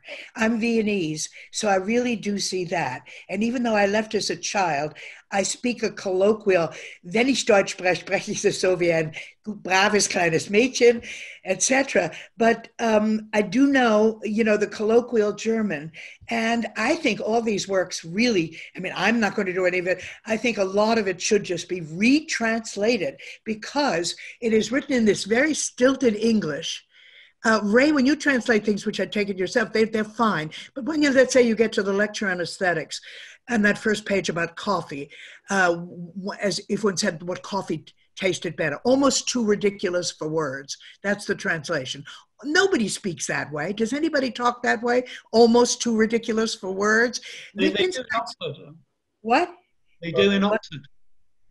they do in Oxford, right? Exactly. So they really, I found, and this is how I, I came to be to be doing this edition. I was just one day lazily reaching in my bookcase and I started looking at the Geheime Tagebücher in the bound translation, which I take it, where is, where is, uh, oh, here's uh, Christian, is, is, you know, completely corrupt and, and many of the words are wrong and all that. And it went out of print, but I have it, you know, and I think actually he gets kind of a bad deal. It is full of errors and full of just wrong transcriptions that his wife evidently made in the library. He said she went to the library and she transcribed words completely wrong. But still, I mean, it's there. And I couldn't couldn't understand why there was none in English. And I started looking around and I thought, how come there's no English edition of the Geheime Tagebücher? I mean, uh, Ray quotes, I would say, you know, some of the choice bits, and and McGuinness quotes other choice bits. They've been quoted by plenty of people, but there's a lot that isn't quoted. And if you read it straight, it also gives you a very different sense. After all, the Tractatus is being written in the first version in Notebook 1914 16 at the same time on the right side of the page, and on the left side of the page, the code, coded notebooks. Now, the code was decoded long ago, but um, thank God. But um, you know, why hasn't why hadn't it appeared? And all I could figure out when I looked into it, and I told the publisher this, Liveright is going to publish it, it's a very good publisher, and you know, um, is that um, there are two Wittgensteins in a way. There's the English Wittgenstein and there's the Austrian Wittgenstein, uh, who's less prominent in a way. The English Wittgenstein, there's the idea philosophy doesn't have anything to do with biography, really, or shouldn't. And and and Christian quotes, I think Christian, you quote Elizabeth Anscombe as saying if she could press a button so there wouldn't be anything known about his personal life, she would be very happy. You know, and that one doesn't need in philosophy what what point do, is there in knowing about the personal life that's not really important and the austrian wittgenstein is sort of the other beginning with Wittgenstein's Vienna, with Allan's wonderful book, which I just reread too in its new in its later edition, um, where there is the interest in culture and and and what milieu he came out of and all that. Uh, now, the English uh, were not particularly interested in having the Geheime Tagebücher done. I think, I mean, I can't figure out why there was there has not been it had not been an edition, but because they don't want these personal things, his homosexuality, uh, his talking about masturbation, which he does all the time in the Geheime his love for David, um, et cetera, et cetera, uh, so much read. The Austrians, on the other hand, first of all, are not very interested in English editions. Why should they be? I mean, they're reading him in German in Innsbruck. And um, so they're not really looking for a new English edition. And also, I think, again, there's a kind of, um, I ran into a kind of, um, what shall I say, prudery that, uh, for instance, um, Ilse Somavilla, who has done a wonderful who, who, has done a wonderful job transcribing, and her essay on on the um, problem of the manuscripts is very good. But she does again not want to talk about the homosexuality. Now, it's not that my job is queering people. I'm not in that branch of criticism, although of course it's been done to every other writer and so forth. But I think it plays a big part even in the philosophy and the way Wittgenstein thinks, and in, in now gradually, very slowly translating. The main thing you catch or notice is how contradictory Wittgenstein was in these years. And, and I was not somebody who believed in the resolute theory of the Tractatus, but as I'm reading it, I come down more to it because he really, he'll say, ich kann nicht, heute nicht gearbeitet, uh, das erlösende Wort never comes, das erlösende Wort, which is very hard to translate, the redeeming word. I don't know how you feel about that. I hope you'll say the revelatory word, whatever. But that word never quite comes. And then when he starts in again, there's a notebook missing. And when he's at the front in 1916, where he then is in battle, then he starts writing those things like the sense of the world must be outside the world. And, and it, there's a real strange break. And it's very interesting, but I do think one of the general problems about Wittgenstein's reception has been that is Wittgenstein a Cambridge philosopher primarily, or is he primarily Austrian? I tend to agree with Radmila that um, I think the Austrian has been played down, and I say that as an Austrian, but as basically an American. But I do think, um, and it's not so much because of the things the family did. I don't think it's that. I think it's the it's the particular class sense in Austria that hasn't really been talked about that much in relation to Vienna. He's a terrible snob, but so are all the others. I mean, the main thing when he enlists as a foot soldier, he enlists as an ordinary soldier, thinking, all right, well, I can do this, you know, and so forth. And then, of course, he can't stand the people he has to be on the ship with, on the Goplana with, die Gemeinheit, die schreckliche Gemeinheit, die Grässlichkeit, you know, he's full of how terrible the people are. He wants to like them in a way, but he absolutely can't. And that was, you know, that was die Leute, die Leute, which is very hard. It's not really quite the people. It's the mass it's the the rabble you know and so forth. He has a very hard time with that. He gets better about it as he goes along. But there's that sen- sense of becoming a different person as an individual and very little of a community sense let's say which i think in england was very different again. So um, I think work for the in the future, and I wonder what Christian thinks. I think more should really be done on what it meant to be an Austrian at that time. And of course, I think one of the reasons he, he wanted to get away from Vienna so much and hated going home even for Christmas is was def- very difficult for him being gay. Not that there wasn't there weren't plenty of gays in Vienna as they were at Cambridge, but because Wittgenstein had been brought up in a family, and I was brought up in that kind of family where you don't ever talk about things like that. You're never going to talk about that openly, so that the Christmases with the family were all based on, you know, other kinds of things, and you could never openly you know, talk about it, although Wittgenstein really wasn't that secret about it after a while. So, um, uh, and when the Bartley book came out and people were so furious, and Elizabeth Anscombe, I take it, was furious, and they really tried to get it from being published, I'm not so much even defending that book. I don't know what he did with Boys in the Prater or that it matters, but there are even references in the Geheime Tagebücher. There are plenty of references toward the end where he says, Ich, ich habe wieder eine Sünde, es war wieder eine Sünde, and where he's always talking about that he's done, he wants to love God, he reads Tolstoy, all that, but there are always those moments where um, he's done something bad. Now, I don't know whether he went up, picked up somebody, whatever, at night, you know, and had sex with them. And, and, it's not that we have to discover that, but it certainly affects his sensibility. How could that not affect your sensibility? And it also does affect his philosophy in all kinds of ways that probably haven't really been talked about yet and that are not just personal kinds of, you know, bad gossip or something like that, but they are relevant to the way he thinks and the way he develops things. And it must have been always a load for him throughout his life, actually.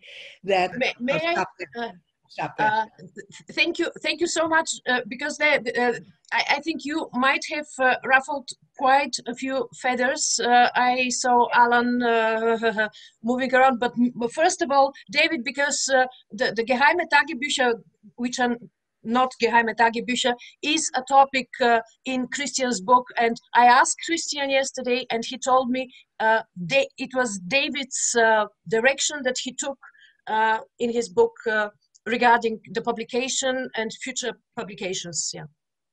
David. Yeah, no, th this is a great topic. And it, it sort of goes to cut against Danielle's suggestion that the texts all speak for themselves and it's just Wittgenstein talking. The Geheime Tagebücher are a wonderful example of an editorial creation. Um, it's not something that Wittgenstein decided would be produced. It's something that someone thought ought to be produced. And the reason it's not been reprinted was, is that it was unauthorized. This is something that the trustees strongly thought wasn't appropriate to publish.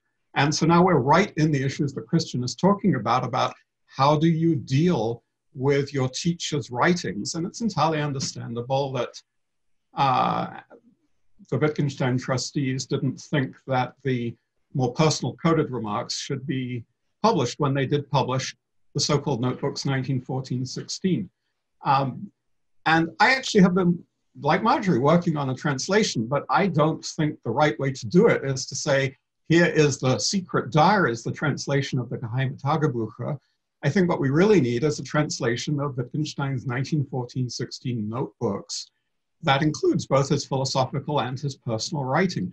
I mean, none of this is really secret or shocking. I mean, thanks to Ray, all of the most quote unquote shocking parts of the secret diaries are available in his biography. And I think it's now, you know, a long time since anyone was surprised by anything in this material. I mean, I think Marjorie's right. What really is missing is that there's a continuity and a much more interesting, detailed story of his life uh, that he records in this diary material that ought to be available. But I think it would, you know, obviously, if you want to publish just the diary material separately. That's a legitimate editorial choice you can make. Um, but speaking for myself, I think it really belongs as part of the three manuscripts that were selected from in the edition we currently have. So yes, a wonderful example of how the editors created Wittgenstein and how they chose to make certain things into books and of course certain things not into books. Um, so yeah, I, I too have actually translated all of this material and I'm working towards publishing it. And as far as I can tell, the single biggest problem is that um, the uh, current copyright ownership belongs to Trinity College. And I was in negotiation with Trinity about publishing this material, um, an edition of all of this pre-Tractatus manuscripts. And this is actually where COVID becomes relevant. Since COVID, the uh, Trinity trustees have gone offline, and uh, I actually have no idea what's going on on that front. I don't know if you've had more success reaching them or getting them to approve your project, but uh, at the moment, my understanding is that uh, we're waiting for them to, to respond to us. So, anyway, some thoughts about this. Yeah. Let me may I just make one point there, uh, Brad Miller. But the 1914-16 notebook, at least in the United States, is only available in that University of Chicago edition, which is 1970 something, 1973. I have it right here. So that tells you something too. I mean, that's 50 years ago. There has not been a new edition, and it, and it doesn't sell much. And I, I predict it'll soon go out of print. That Chicago edition, I have it right here. This is it. Notebooks 1914-16. Yeah, you've got it. I mean, that was published by Chicago. I've asked Alan Thomas, who's my editor. I published with Chicago, and uh, you know, how come? I mean, it hasn't even been brought up to date. The second edition, von Wright Anscombe, and so forth, University of Chicago Press, and that is 1979. 1979. 89, 99, 09, 19. That's 40, more than 40 years ago. So I agree with you that actually it should be the whole thing. And I, I tried to, I'm going to try to solve the problem in mine by when the two start coming together. By then, I'm going to pr- reproduce some of the things from this notebook for the later part, for five and six. Um, but when I did it, I found myself retranslating most of it because, again, the translation is very bad. Whenever they can use the word commence instead of begin, they do. It commenced. Nobody speaks that way. And so you always have to think that Wittgenstein, that you get this impression of somebody who's a very formal or, you know, distant, eh, kind of fussy person, whereas you just have to say it began or it begins, you know, things, things of this sort, which this is just full of. And I think most people don't notice it because you either read it in German, as I imagine Allan does, or you read it in English, as I imagine the rest of you do. And so you don't think about it. You don't think about the translation. And that is such a problem. Well, I've actually been thinking a lot about the translation recently, and I Oh, will sure, put in a good word Yeah. for the 1914 16 notebooks. I mean, I think Anscombe, in some ways, is fresher than either Pears and McGuinness or Ogden with similar material. And I think the translation of the investigations is in all sorts of ways an extraordinary achievement. So she's certainly not the worst of Wittgenstein's translators. Um, so I'm not, I certainly think a better job can be done of the 1914-16 notebooks, but um, I, I would stand up to her level. In the spirit of Christian's defense of the original Wittgenstein trustees, I, I actually have quite a lot of respect for her translation of the notebooks. Um, I, I, know you wanted to say something, but may I only interject? Uh, as far as I understand it, uh, the Marjorie's uh, publisher uh, wants a book that will um, uh, disclose uh, hitherto unknown part of the personality of Wittgenstein to a more general reader, and wants to publish in in, in 22 for the 100 years uh, Tractatus first publication and so on. So I, I think uh, it, it is about two different books because uh, really scholarly edition in two languages with many uh, uh, scholarly um, annotations will not be understandable to a general audience. Uh, this is as far as I... It is very general. Ray? Yeah, I just wanted Marjorie to respond to your um, saying of Wittgenstein that he was a snob. Um, there may be something in the idea that he was a snob when he was a young man. But what struck me was when he was older and living in Cambridge, you can find far more occasions on which he's actually an anti-snob. Um, exactly. I agree. I agree preferred to be in the company of the working class people in Swansea, in Ireland, in Newcastle, in London. I um, I got to know the widow of one of his friends, the friend he made in uh, London when he worked at Guy's Hospital, who was a very working class man who lived in a tiny flat in Hackney in East London. And I think one of the things that Wittgenstein liked about the company of Roy Fouracre was that it was a refreshing break from all the privileged and upper class people he knew in Cambridge. Exactly. I think that's exactly so. It's exactly so, but all the more reason to, to see that at the time when he wrote the Tractatus, that was still the family, he was still a little bit under the family uh, you know, he, how, how could that be otherwise? The way he had been brought up. And then he got away from that. I think that, that is what the great story is completely and preferred the working class people, which is why he really didn't want to be with the family. And we haven't mentioned in this connection, after all, which I'm not going to be talking about. who, who, who first? Yeah. Yeah.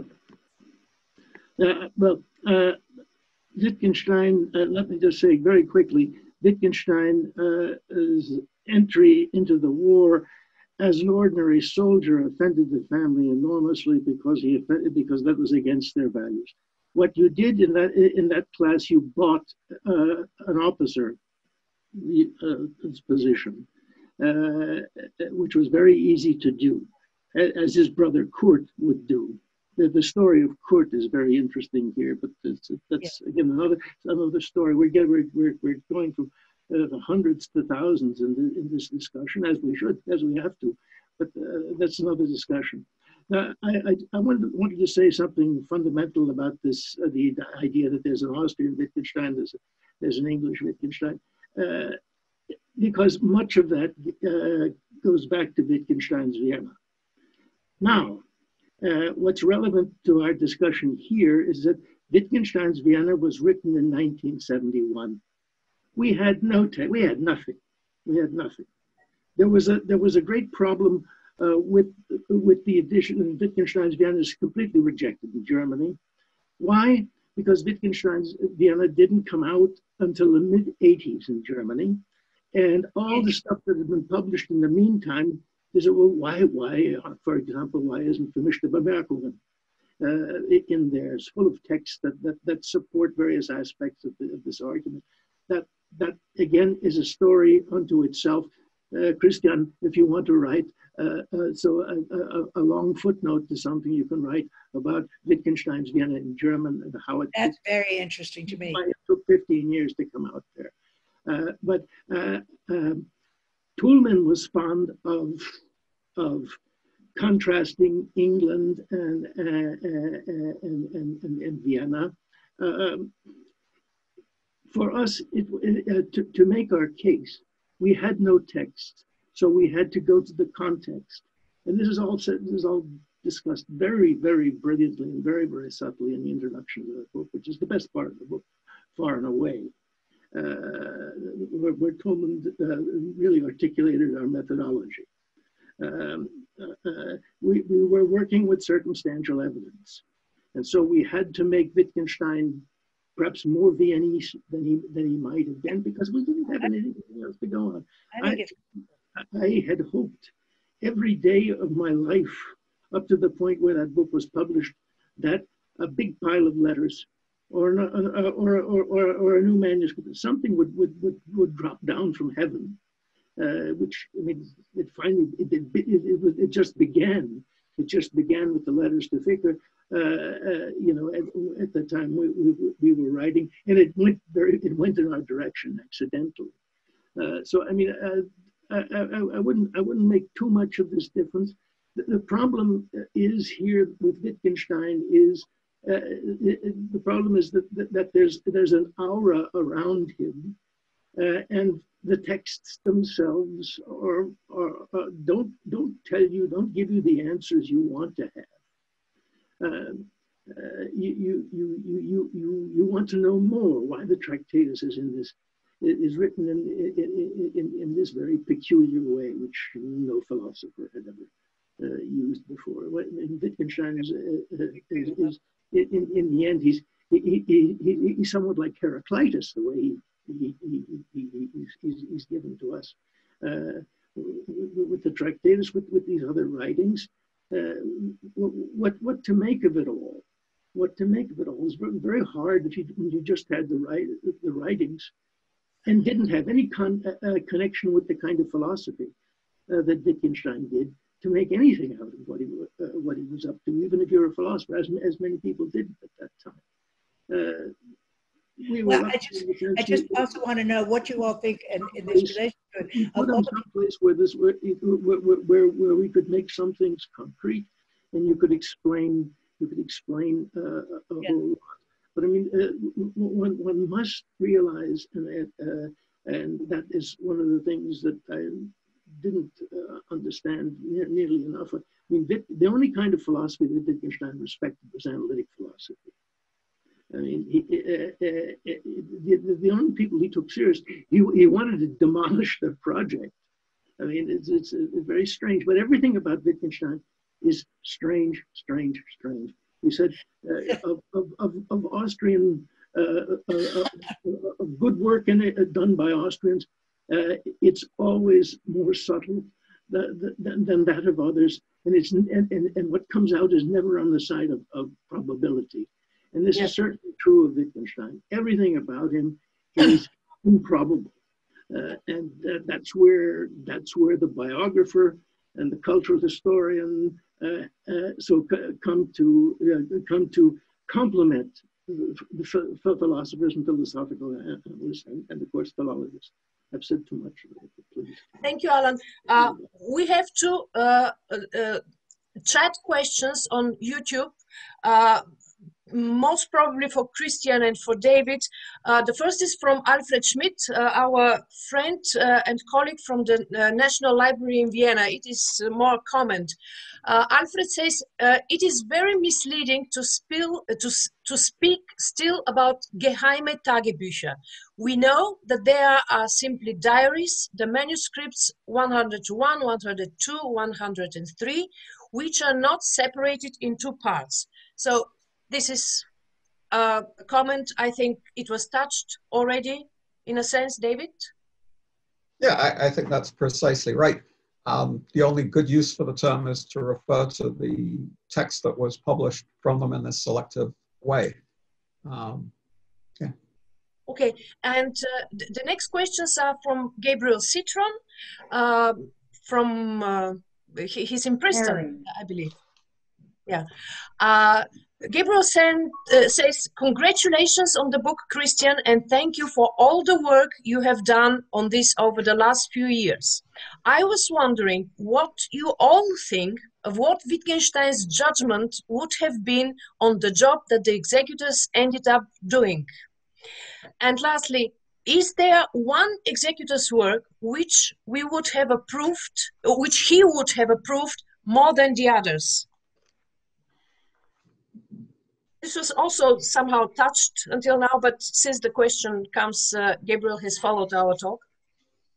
Uh, uh, first, the, the first question, um, well, I, if you ask me um, uh, what would Wittgenstein would have said about the additions, it's uh, probably just um, just as impossible to know as uh, uh, it, it, was for Rhees impossible to know what he, he, should do um, according to Wittgenstein's wishes. So it's very similar, the structure of your question to, to what the editors had to do. Um, but anyhow, so uh, I there's something. Well, first of all, I can I, I have something uh, on this question. Is um, he uh, Wittgenstein repeatedly uh, uh, said, uh, or no, um, Rhees remembered that Wittgenstein said to him, "I trust you completely, Rhees, and I trust Miss Anscombe completely."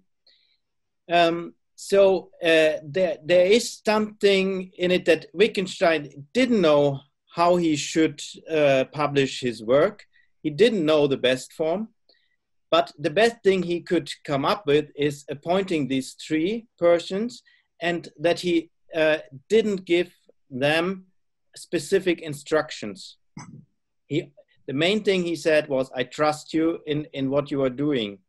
So uh, in this sense, um, I think he, whatever they uh, came up with or would have come up with, Wittgenstein would have said, well, this is what you decided. And he, he trusted in the persons and that they would uh, make a good decision. Um, now I wondered not completed. why why I, I wondered why Wittgenstein would have chosen these three uh, very different characters. Um, knowing all three of them, he probably could foresee that they would have a lot of uh, quarrels and and and uh, different uh, perspectives on on their task. Um, I I wonder how how much he could foresee what what they uh, the, the kinds of discussions they had. But I the answer is probably that he had trust in in the characters, in all in all three of them, and uh, um, so this was the best decision he could uh, do at the time when he had to do the decision. So, yes, there was a, the fir your first question, Gabriel, and the second again. Sorry, I didn't uh, get it. Is there um, is there one executor's work which he would have approved of more than the others? Picking up one. Ah, okay. Um, I don't know. um, um, I think well, um, I think he he would be very uh, sympathetic or uh, congenial to Rhees' work. I think Rhees had the attitude that uh, uh, Wittgenstein himself might have taken when he had uh, got a job like this or a task like this, and uh, the fact that he had chosen Anscombe as a translator uh, uh, shows that he approved Anscombe's um, understanding of his language and, and, and transferring it into English. So I think the, the translation, Anscombe as a translator, um, Rhees' way of uh, approaching the task, uh, uh, these two things, uh, he would probably um, be sympathetic with. Uh, and with von Wright, uh, I don't know. I don't know. Maybe he could have discussed it or so, but he didn't. Wittgenstein probably didn't intend uh, to to publish the things, um, uh, the, the writings as Wittgenstein, uh, as von Wright um, did it in the uh, later years. So, and and uh, like the let's call it the more the philological approach or the archival approach. I think this was not uh, what Wittgenstein would have wanted, and Rhees was very clear that uh, this is not the right way. But um, just as Jim said, uh, time uh, went on, and there was a time in in the history, like in the 70s, that uh, then it was right to do it in the more historical, archival, or philological way. So, yes, and so I would say probably uh, Anscombe and Rhees, uh, they were closer to Wittgenstein's wishes than von Wright. And Wittgenstein prob probably knew uh, probably knew this uh, since he said explicitly, explicitly that he trust, trusted Rhees and Anscombe. He did not mention uh, von Wright in this uh, statement. Yes. uh, But but and and now when it comes to us now today, we have to thank von Wright a lot Mhm. That uh, uh, saving all the historical documents, um, starting the, the research into the origins of the work in a more historical way, this uh, was very um, fruitful for further work. Yes. I was I was going to say that um, we we mostly kind of um, there's a tendency to look upon what happened, and you know, sort of see it as a mad plan to have these three people involved, and everything that people have said is true about this. They were spectacularly different people, and, and and what and and something um, that was said earlier was by Allan is exactly right that there was a lot of bitterness underneath this, and what was holding them together was their sense of shared devotion to Wittgenstein that made them sort of just keep talking to each other. Otherwise, I think they reached certain junctures where um, they never would have spoken to each other again, or at least neither would have spoken to Elizabeth again. Um, um, but um, but notwithstanding the truth of all of that, I think it's worth also seeing that there's a certain genius in what Wittgenstein did here and and and I don't see there's any reason to assume that he didn't know what he was doing. Um, so, um, sort of in a, a, way, slightly attacking the premise of Gabriel's question, um, why not suppose um, that Wittgenstein thought each of these people had a kind of appreciation for a dimension of what mattered to him that complemented the strengths but the limitations of each of the others.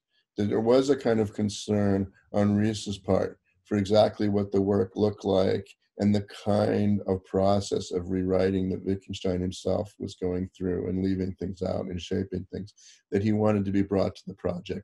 He also thought that Rhees's attempts to translate his works were really terrible. Although Rhees was the person who knew Austrian German dialect, um, and that he did not just want a translation that was faithful, under a certain conception of faithful translation. And that Anscombe, who has to go learn German in order to translate the work, is the person he wants to do it because he has a sense that she has a certain conception of what it is to render the spirit of his thought in English, even if it doesn't involve a certain kind of fidelity to a certain kind of literary scholar's conception of what accuracy of translation is. She'll think of some other example or some other simile in English. They'll hit off the philosophical point, and that's more important to him than having a translation of the simile he chose in German that gives a sense of what the original German words were. And that that's something he really valued in Anscombe. And more generally, you know, if you just look at his own comments on their philosophical writings in that period, that he's the person who he thought she had the most sense of what his philosophical method was and what his ideas are and what he would have called philosophical logic. Um, and that what um, um, von Wright brought to the project in, this, in the sense that he shared some larger sense of Wittgenstein's cultural and literary and aesthetic interests was something he did not want just left out of the purview of the literary executors, as it would have been if it was just Rhees and Anscombe. I mean, Ray's complaint about his own book and how it doesn't bring out more of Wittgenstein's um, the importance of music to Wittgenstein's sense of things was also a criticism Wittgenstein himself had of his own of his own published work, and and and so he's concerned that this is missing from the investigations, and it, it somehow needs to be conveyed. Just to take one example, in the larger um, publication of his work, then von Wright is a good person to add to this equation um, of the people that are available to him. So I think he's choosing three people that he thinks uh, for all the difficulty they're going to have working with each other, balance each out each other out in ways he cares about, and um, and then this goes, I think, with the other thing that Christian just said, but I would like to emphasize, which is that um, there isn't anything which um, just is the thing Wittgenstein would have wanted done. I do think time makes a huge difference here. I do think the following is obvious. If the first thing they had done would have been to publish the notebooks, including the decode the coded remarks, you know, just publish everything as one big manuscript in the way that David Stern is now contemplating doing. As the very first thing that was published in the posthumous writing, I think Wittgenstein would have been very unhappy with that. That would have created a certain kind of reception and a certain kind of focus exactly. on his personal life of a sort that he would not have wanted to be the first thing that happened, even if it was chronologically the first, and even if it was a textually, as it were, you know, in one way, completely uncorrupted edition, which just gave us his remarks as he had them. And I think all the literary executives were very clear about that, that they were shaping the reception of his work. What Wittgenstein would have wanted right now, after everything else has been published, we have enormous amount of the Nachlass available. We have biographies of his work available. Um, I could imagine, given the realities, you know, of the present um, situation, he might have thought, hell yeah, let please let David Stern go ahead and now produce this volume that will clear up all sorts of misunderstandings so people can see exactly how the philosophical remarks were juxtaposed with these other remarks and they have the full picture. Um, and they don't and they don't believe there's just this thing called the secret diaries which is a separate book. But but this the, these are now decisions against the background of a great many other things that have happened. And um and and what wittgenstein would have thought at one point in time would have been very different than another. And I think it would have involved his changing and coming to accept a situation that he couldn't possibly have foreseen. That's what I meant by saying there is nothing which is being able to see your life from the point of view of your death. It's not. It's not a perspective you have within your life. Um, and so, um, so, so, so, so, so that means that it's you know both. If von Wright was just allowed to do what he wanted to do without Anscombe and Rhees putting the brakes on him, from the beginning, I think that clearly, I think one we can say this much that would have made Wittgenstein unhappy, but but that von Wright was in the picture, allowing us to have a more complete edition eventually in a way that um, was nicely brought out by Ray. Anscombe wouldn't have cared about it all. She wouldn't have even preserved the materials to let that happen. Um, um, that that um, that is something he might also have valued, and these two things don't actually contradict each other, I think. And and in retrospect, we can see a certain kind of wisdom, I think, in Wittgenstein assembling this team. However, in another way, a motley a crew of people, it seems to us. Can I chip in something um, to add to that? I've always thought that the problem with Rhees's translation was not his German, but his English. One mm-hmm. of one of Rhees's peculiarities was that he wrote English in a very odd way.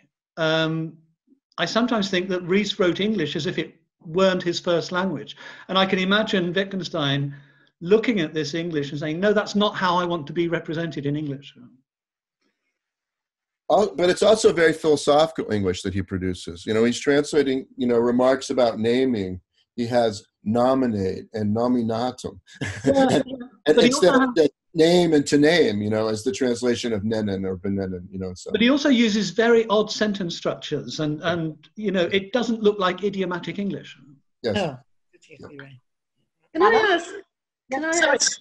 Can I ask David why? Um, why you think um, I'm wrong in saying that the manuscript? That, sorry, that the Geheime Bücher go against my point about manuscripts speaking for themselves. I mean, certainly the uh, Geheime Bücher will speak, you know, it's a matter that will speak for itself, only it just won't speak genius. Uh, well, what he wrote there is, I think, a wonderful literary, personal wartime diary. I mean, I think it absolutely deserves to be published and appreciated in context. But the point is that the name, as Alfred Schmidt points out, is deeply misleading. I mean, it's a piece of sensationalism and it creates a book that is entirely an editorial creation. I mean, Wittgenstein didn't write secret diaries. Someone decided that would be a jolly good title to put out this material that the trustees had, in their wisdom, decided, as Jim points out, wasn't ready for publication yet. What I'm trying to bring out is just that it's too simple to say Wittgenstein's a genius, the writing speaks for itself. Uh, the writing no more speaks for itself than the world speaks for itself. It has to be somehow uh, framed and published. And the decision to take certain pieces of a dead author's writing, put them under a certain title, and publish them as a book is a really important activity that we can't take for granted. And it just won't do to say the genius shines through, it doesn't matter. That, that's the point I, I have in mind here. What would you call them, uh, David? Not Geheime uh, they're, they're, selection, they're the parts so, of manuscripts 101 through 103 that were not included by the trustees in their edition of the notebooks 1914-16 which also is a misleading title because they actually date from 1917. Um, but anyway, Allan wants to say something about all this, I know. Yes, uh, uh, I'll start with following. Uh, sort of contradicting and not contradicting Jim because he took both sides of the issue here. Uh, but there is, we do have a phrase planned by a committee. I don't know if Wittgenstein knew this phrase, but he certainly knew what, what, what it meant. Uh, there is there there is something fundamentally problematic about a team. On the other hand, on the other hand, this goes with that point, and it again reinforces exactly what, what Jim is saying. Namely, he changes his mind very, very late. Very, very changes his will. Rhees is the original executor uh, with plein pouvoir. Uh, he then says, "No, we've got we've got to have the other two. And so the, the, the, question that the historian of ideas is faced with is okay, why does he want to have the other two? Jim has given uh, as good an explanation uh, as, we're, as, as, we're likely to get here. By the way, with, with respect to the diaries, we here in Innsbruck have for, we, we got these things uh, before anybody did except the Spaniards, because it was originally the Diarios Secretos. It's an Italian edition, yeah. No, no, no, Spanish, Spanish in Sabet. And, and, and Italian, Diari Segreti, by leading fellow Aldo G. Gargani. That was, that was much later. That was much later. Uh, the, uh, they, they, they, they picked that up. We have always spoken of the public and the private diaries. Because oh, this, war diaries. This, this, solves, this solves the matter qu quite uh, qu uh, quite easily. Wittgenstein is right. Why, why is he writing in code? He's writing in code because he's shit scared. Yeah. And at the, at the beginning, of, above all, he's terrified of, of what's happening around him. He's, and he's terrified for his life. And he and he, he's, he's, he's trying he's trying to build up the courage to face the war, which he eventually does he eventually overcomes the fear of death, which is extraordinary. I mean, that's what the, that's the story that's uh, that, that, that's behind these things. Uh, and, and I mean, obviously, if an officer, if one of his superiors sees this, he can he can be shot. He can be shot for expressing these kind of sentiments. So obviously, you don't want you don't want he didn't want certain people to know what was what was in there. Uh, now he he used. I mean, it's a, it's a question, and I'm sure I'm sure my colleague Ilse has somewhere or other dealt with this with this particular issue. We've talked about it enough here over the years. I mean, this takes me back to the 90s, by the way, when we were working on this. When we made the the the proposal to edit these things together, and the, then the successors of the trustees were not happy with that. They they they sort of they didn't say no they just sort of stonewalled us. And, and, and, and, and, and the, the project, we, we, we, we did a lot in this direction that never got published, uh, that, that now is probably not even accessible anymore because the software we were using is, is, is, so, is, is obsolete. but we did a lot of work in, in, in this in this direction. We, we, we wanted to do this, uh, and for, for a number of reasons. Again, uh, we're getting into a, a, another kind of Christian Erbacher story uh, with with that. I, am I, I I said almost uh, the day I began with Wittgenstein 55 years ago, if I had anything to do with all of this, I would publish everything. You know, you just because there were so these, rumors about, about his private life. There were the, the, the I mean, the, what what what what a lot of people thought, for example, uh, in in the, in the Vienna Circle. I mean, uh, you know, basically, uh, what, he was doing uh, in, in, later you know, was he, he, he was picking up stuff. I mean, Carnap, uh, uh, uh, Carnap uh, uh, was was the hero. Wittgenstein was the villain. Wittgenstein was simply he he, he was reproducing Carnap in a new way.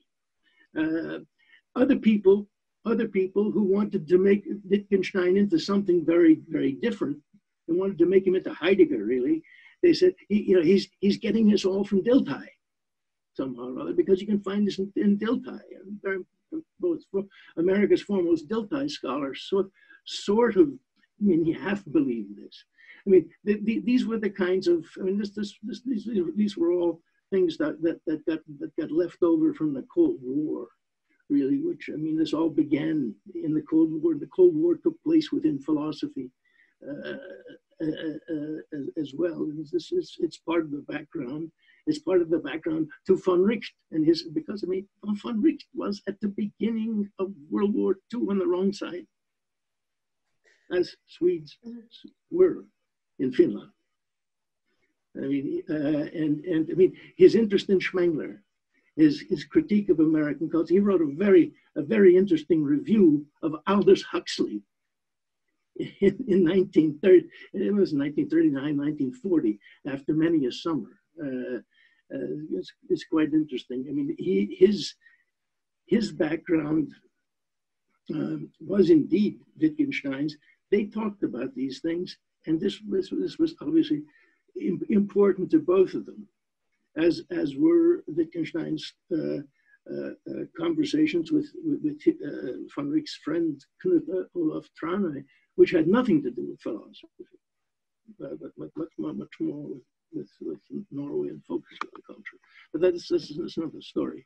I, I, I, do want to say that, that um, uh, the, the, the, the, question of, of, of, the, of a, group of trustees is, is, is, a, is a very, very, is a very curious, is a very curious idea. I mean, Wittgenstein himself can't come to a, a, a decision or has, has enormous difficulty apart from the first part of the philosophical investigations about what's to be published uh, how does he think that a group of people can somehow, uh, uh with, with quite different perspectives, take, take Jim's description as perfect, uh, uh, uh, that, that they can do better is, is sort of beyond me.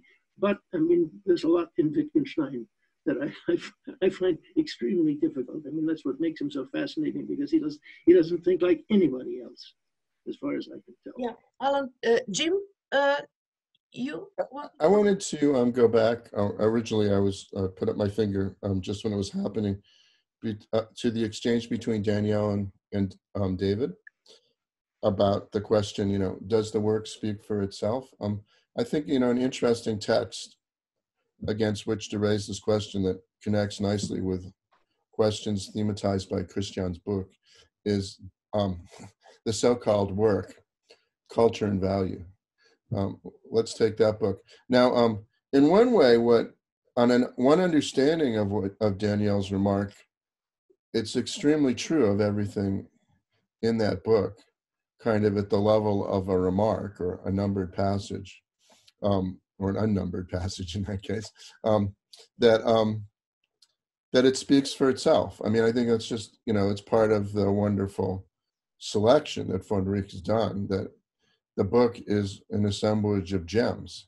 So one can take any any passage, you know, something that has the unity of a remark, a beginning, a middle, and an end, in that book, and read it, and the brilliance of the thinker and the thoughtfulness of it, and the way in which it reflects an entire life of considering what the relation is between philosophy and music and culture and religion and logic.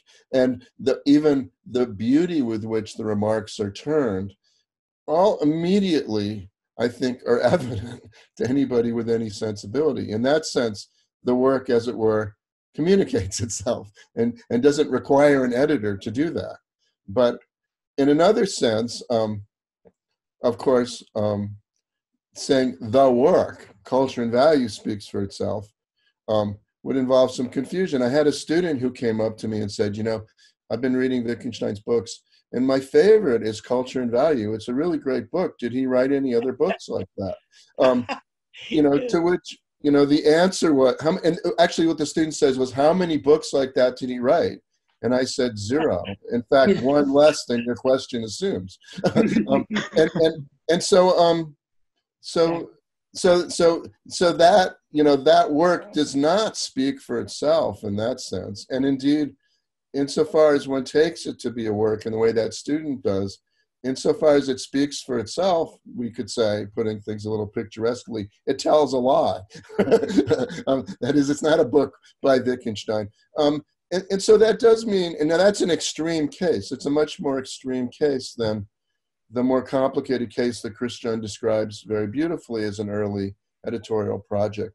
Remarks on the Foundations of Mathematics. But Remarks on the Foundations of Mathematics is somewhere on a spectrum between just sort of publishing everything as you find it and culture and value. But, but it is a work that has been crafted. So a certain understanding of what the unity of the work is and um, even that it should be titled remarks on the foundations of mathematics that involve leaving a lot of things out. I don't think actually wittgenstein would have ever titled his books in that way.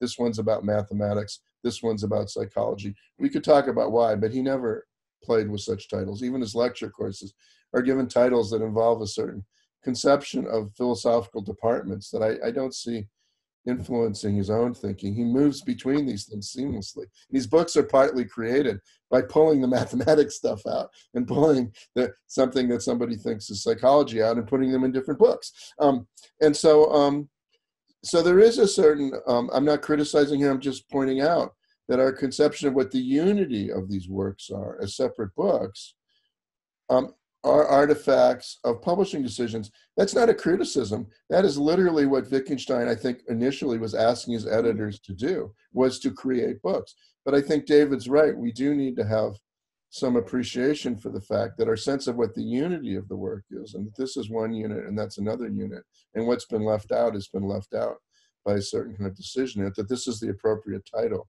and that this is the purview of it it involves a shaping of Wittgenstein's work. It's not just the work speaking for itself. And I think both those points can be true. Um, they don't. They're actually not in competition with each other. But I do think. Um, but each each. But but if either point seems to eclipse the other, then I think we've missed something. And I think part of the beauty of Christian Erbacher's own book is he brings out you know both dimensions of this difficulty. Can I just can I just reply to that? I, I, I, I didn't say that the work speaks for themselves, but the manuscripts speak for themselves. And I think, mm-hmm. and I, I don't agree with Allan that um, everything everything should be published because I appreciate the work of the editor.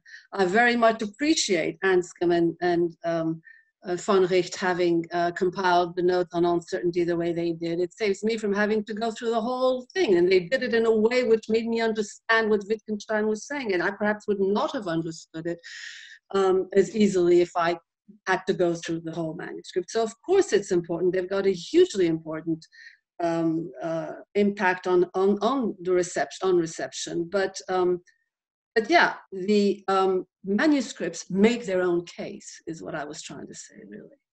It, it, it not, uh, they, they don't depend on the editors to, to, to make their own case. They, they depend on, we depend on the editors, definitely, to get, to get the, um, to get what Wittgenstein was saying in a more economical and, and more accessible uh, way, not but what, is, what does that mean? To go, to go call through the whole manuscript, all the manuscript. But what does that mean, Daniel? I mean, let's just take a case from On Certainty then. I'm, I'm not arguing for a position. I'm just giving you an yeah. example of, of how two people could disagree. So when they first look at On Certainty, um, there are all these remarks. They're trying to arrange them chronologically. Um, and so forth. They number them, and we get the book we have now. Now, say someone else goes back at the manuscripts. You don't have to accept the premise; just just accept it as a hypothetical. Yeah. And they notice, well, there was a big break between this numbered section and that numbered section. They were they were separate and they were put together and numbered through. And also, they discovered by reading some biographical material First, Wittgenstein read one of these 2 Mhm. Moore essays, Proof of the External World and Defense of Common Sense. And he wrote all of those remarks having read one of them. And then he read the other Moore essay. And then he wrote all the other, or reread it.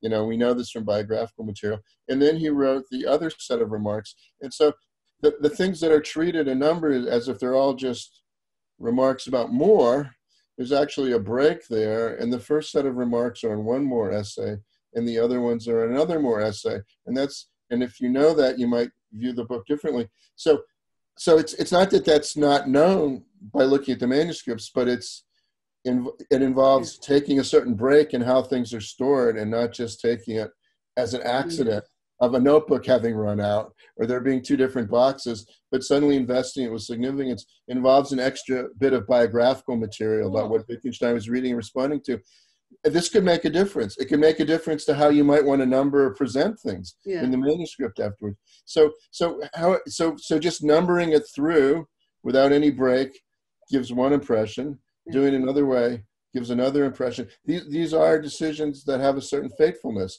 The remarks in the foundations of mathematics are broken up into parts. They're not just Yeah. numbered through one to you know a very large number and, and so those are decisions that i think can be quite faithful in shaping the reception and uh, whether you think they're just Moore type propositions or whether you think wittgenstein thinks they're two very different kinds of examples and more that have to do with two essays.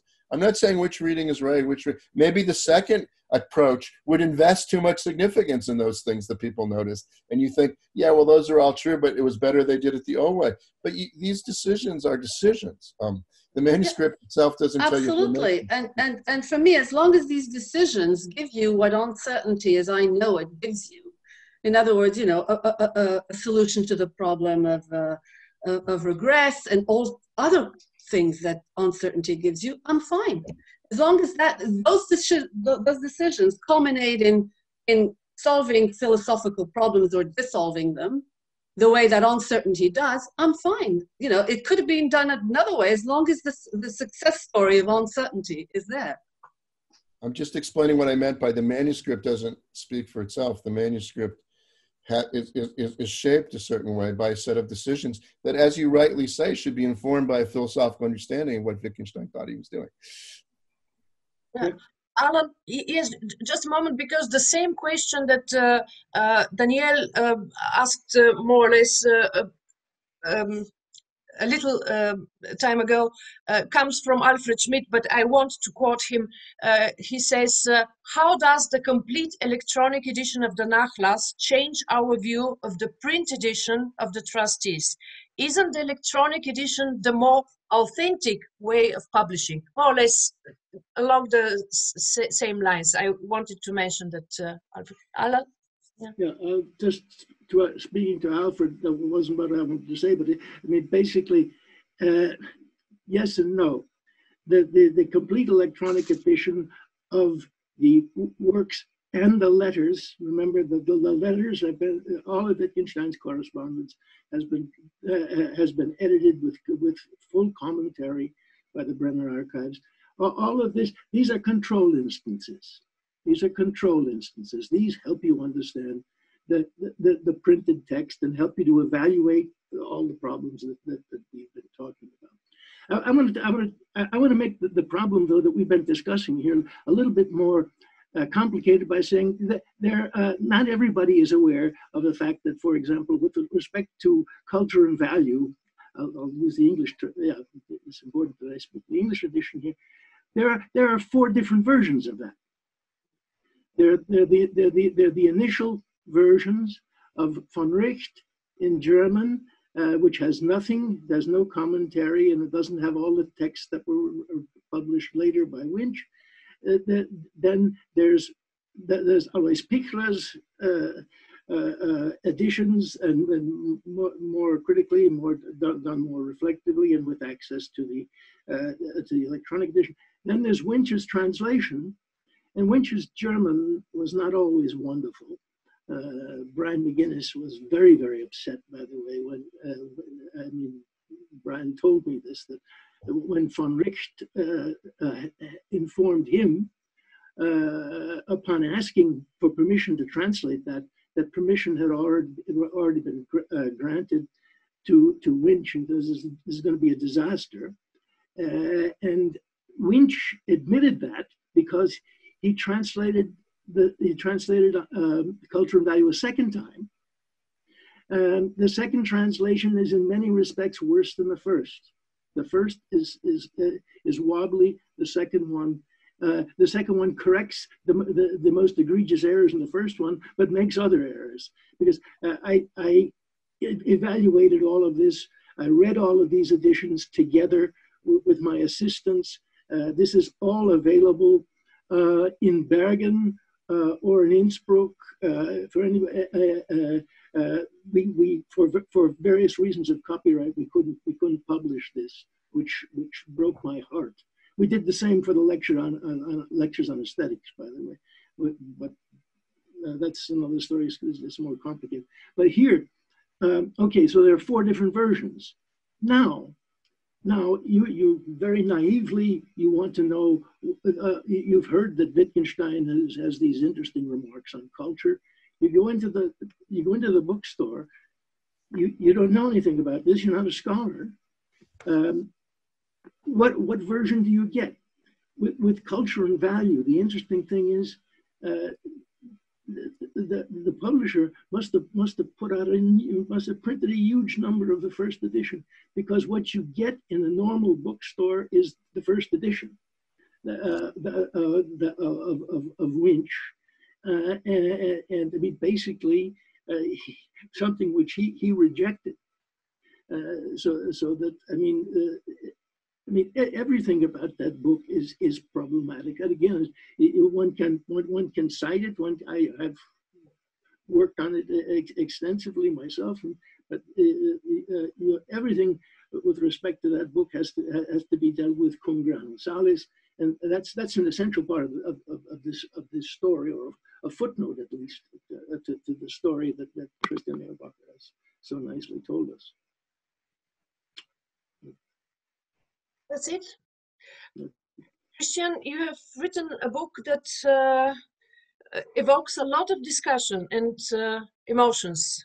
I mean, not not not only between us tonight, but uh, what I understand also from comments and questions coming. And yeah, what can be better?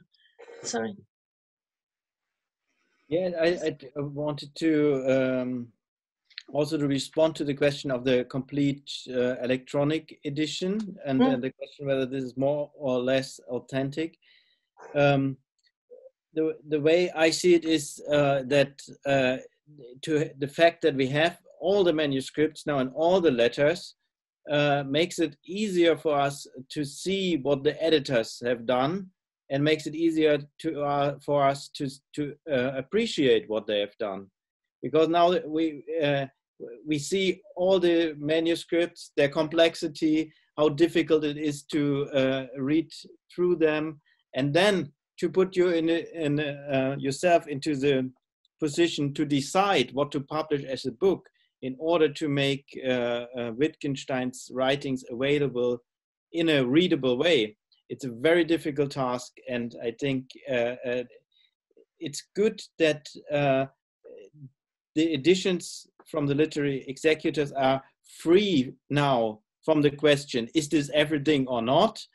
Uh, because it's obvious uh, we have everything in the electronic form and we can uh, appreciate uh, the great work that the editors uh, have done. Um, and it's very important to that the electronic, um, well, the storing and the making available in electronic form uh, goes on. I think that's the continuation of the of the editing story. So in a sense, the book is only the first part, uh, and then the it goes on. It's a live, lively uh, uh story, the editing. Yes. Thank you. Jim? I mean, I, I do, I mean, I think from the point of view of an archivalist, one wants something like a complete edition of all the remarks. But I do think it's very important to understand that Wittgenstein's aim was not to produce an object for an archivalist, which um, consisted of all the remarks he ever wrote down. Um, he was trying to produce works of philosophy, finished one his lifetime, the Tractatus, and he almost finished one in his lifetime, the investigations. Um, and, and part of what makes the investigations a work, especially the first half of the investigations, it has a certain status, is that the remarks, it is not just a collection of 600 some remarks. The book begins exactly the way he wanted it to. And he thought very hard about how he wanted to begin. And it has that preface. And then it starts with a quotation from Augustine. And it starts with a remark that says something about that quotation. And then it starts, and then it goes into certain examples. And then it starts to comment on those examples. And so on. That is to say, the, the remarks are not just a collection of remarks, they are an ordered sequence and they're to be read in a certain order. And part of understanding the book involves asking oneself the question why does this remark follow that remark? um, something, you know, that also, you know, is clearly true of the Tractatus as well, and the numbering the Tractatus brings out. And um, so the editors were not just given a lot of posthumous material, that they were supposed to produce. Sorry about that. We have some kind of emergency in Chicago, apparently. Um, that's that's the city warning us that there's a flood or a tornado or something usually. Um, so um, so so um, so what they were trying to do, and and and you know, various people have brought out. Christian's book brings out the impossibility of this. Is they were trying to after Wittgenstein died, bring out books that had this character, not of being collections of remarks, but consisting of numbered sections in which the order of the remarks involves a development of thought. And, and, and, of course, a great deal of the order is taken from these remarks occurring in a certain order in Wittgenstein's text. They didn't, you know, with the exception of Zettel, wind up just completely shuffling the deck, um, but um, and then trying to reconstitute it. But still, they were making various decisions, and that's a very different and difficult task they were presented with: how to present a collection of remarks as an ordered sequence. And um, and at a certain point, when um, von Wright is archiving the manuscripts and we move into a different stage of Wittgenstein reception, and we're just trying to preserve things as they've come down to us that's no longer um, the aim. The aim is to just, as it were, present the collections as they happen to fall, um, without without a, a, clear sense of um, you know the degree of authorial attention in the significance of the order. Because many of Wittgenstein's notebooks were, I think, really notebooks where he wrote things down which he then had the intention to order. And you can see this very clearly in the way he cuts things up and reshuffles them. So he's sort of gathering mosaic stones to put into a mosaic. And it's very important that some of these things are collections of mosaic stones and other things are fragments of mosaics. And the only complete mosaics we have are the Tractatus, you know, ordered the way Wittgenstein wanted to, and the first half of the investigations. And I think that difference in status, something that has the unity of the work, and something that has this other character of, you know, being, as it were, materials from the workshop that was supposed to be turned into a work, I think is something that needs to be respected and understood. And and um, that's something I think gets lost if one thinks that the Bergen electronic edition is now just the best edition of Wittgenstein's work we have, and we should just go read that. Everything else is relevant. Well,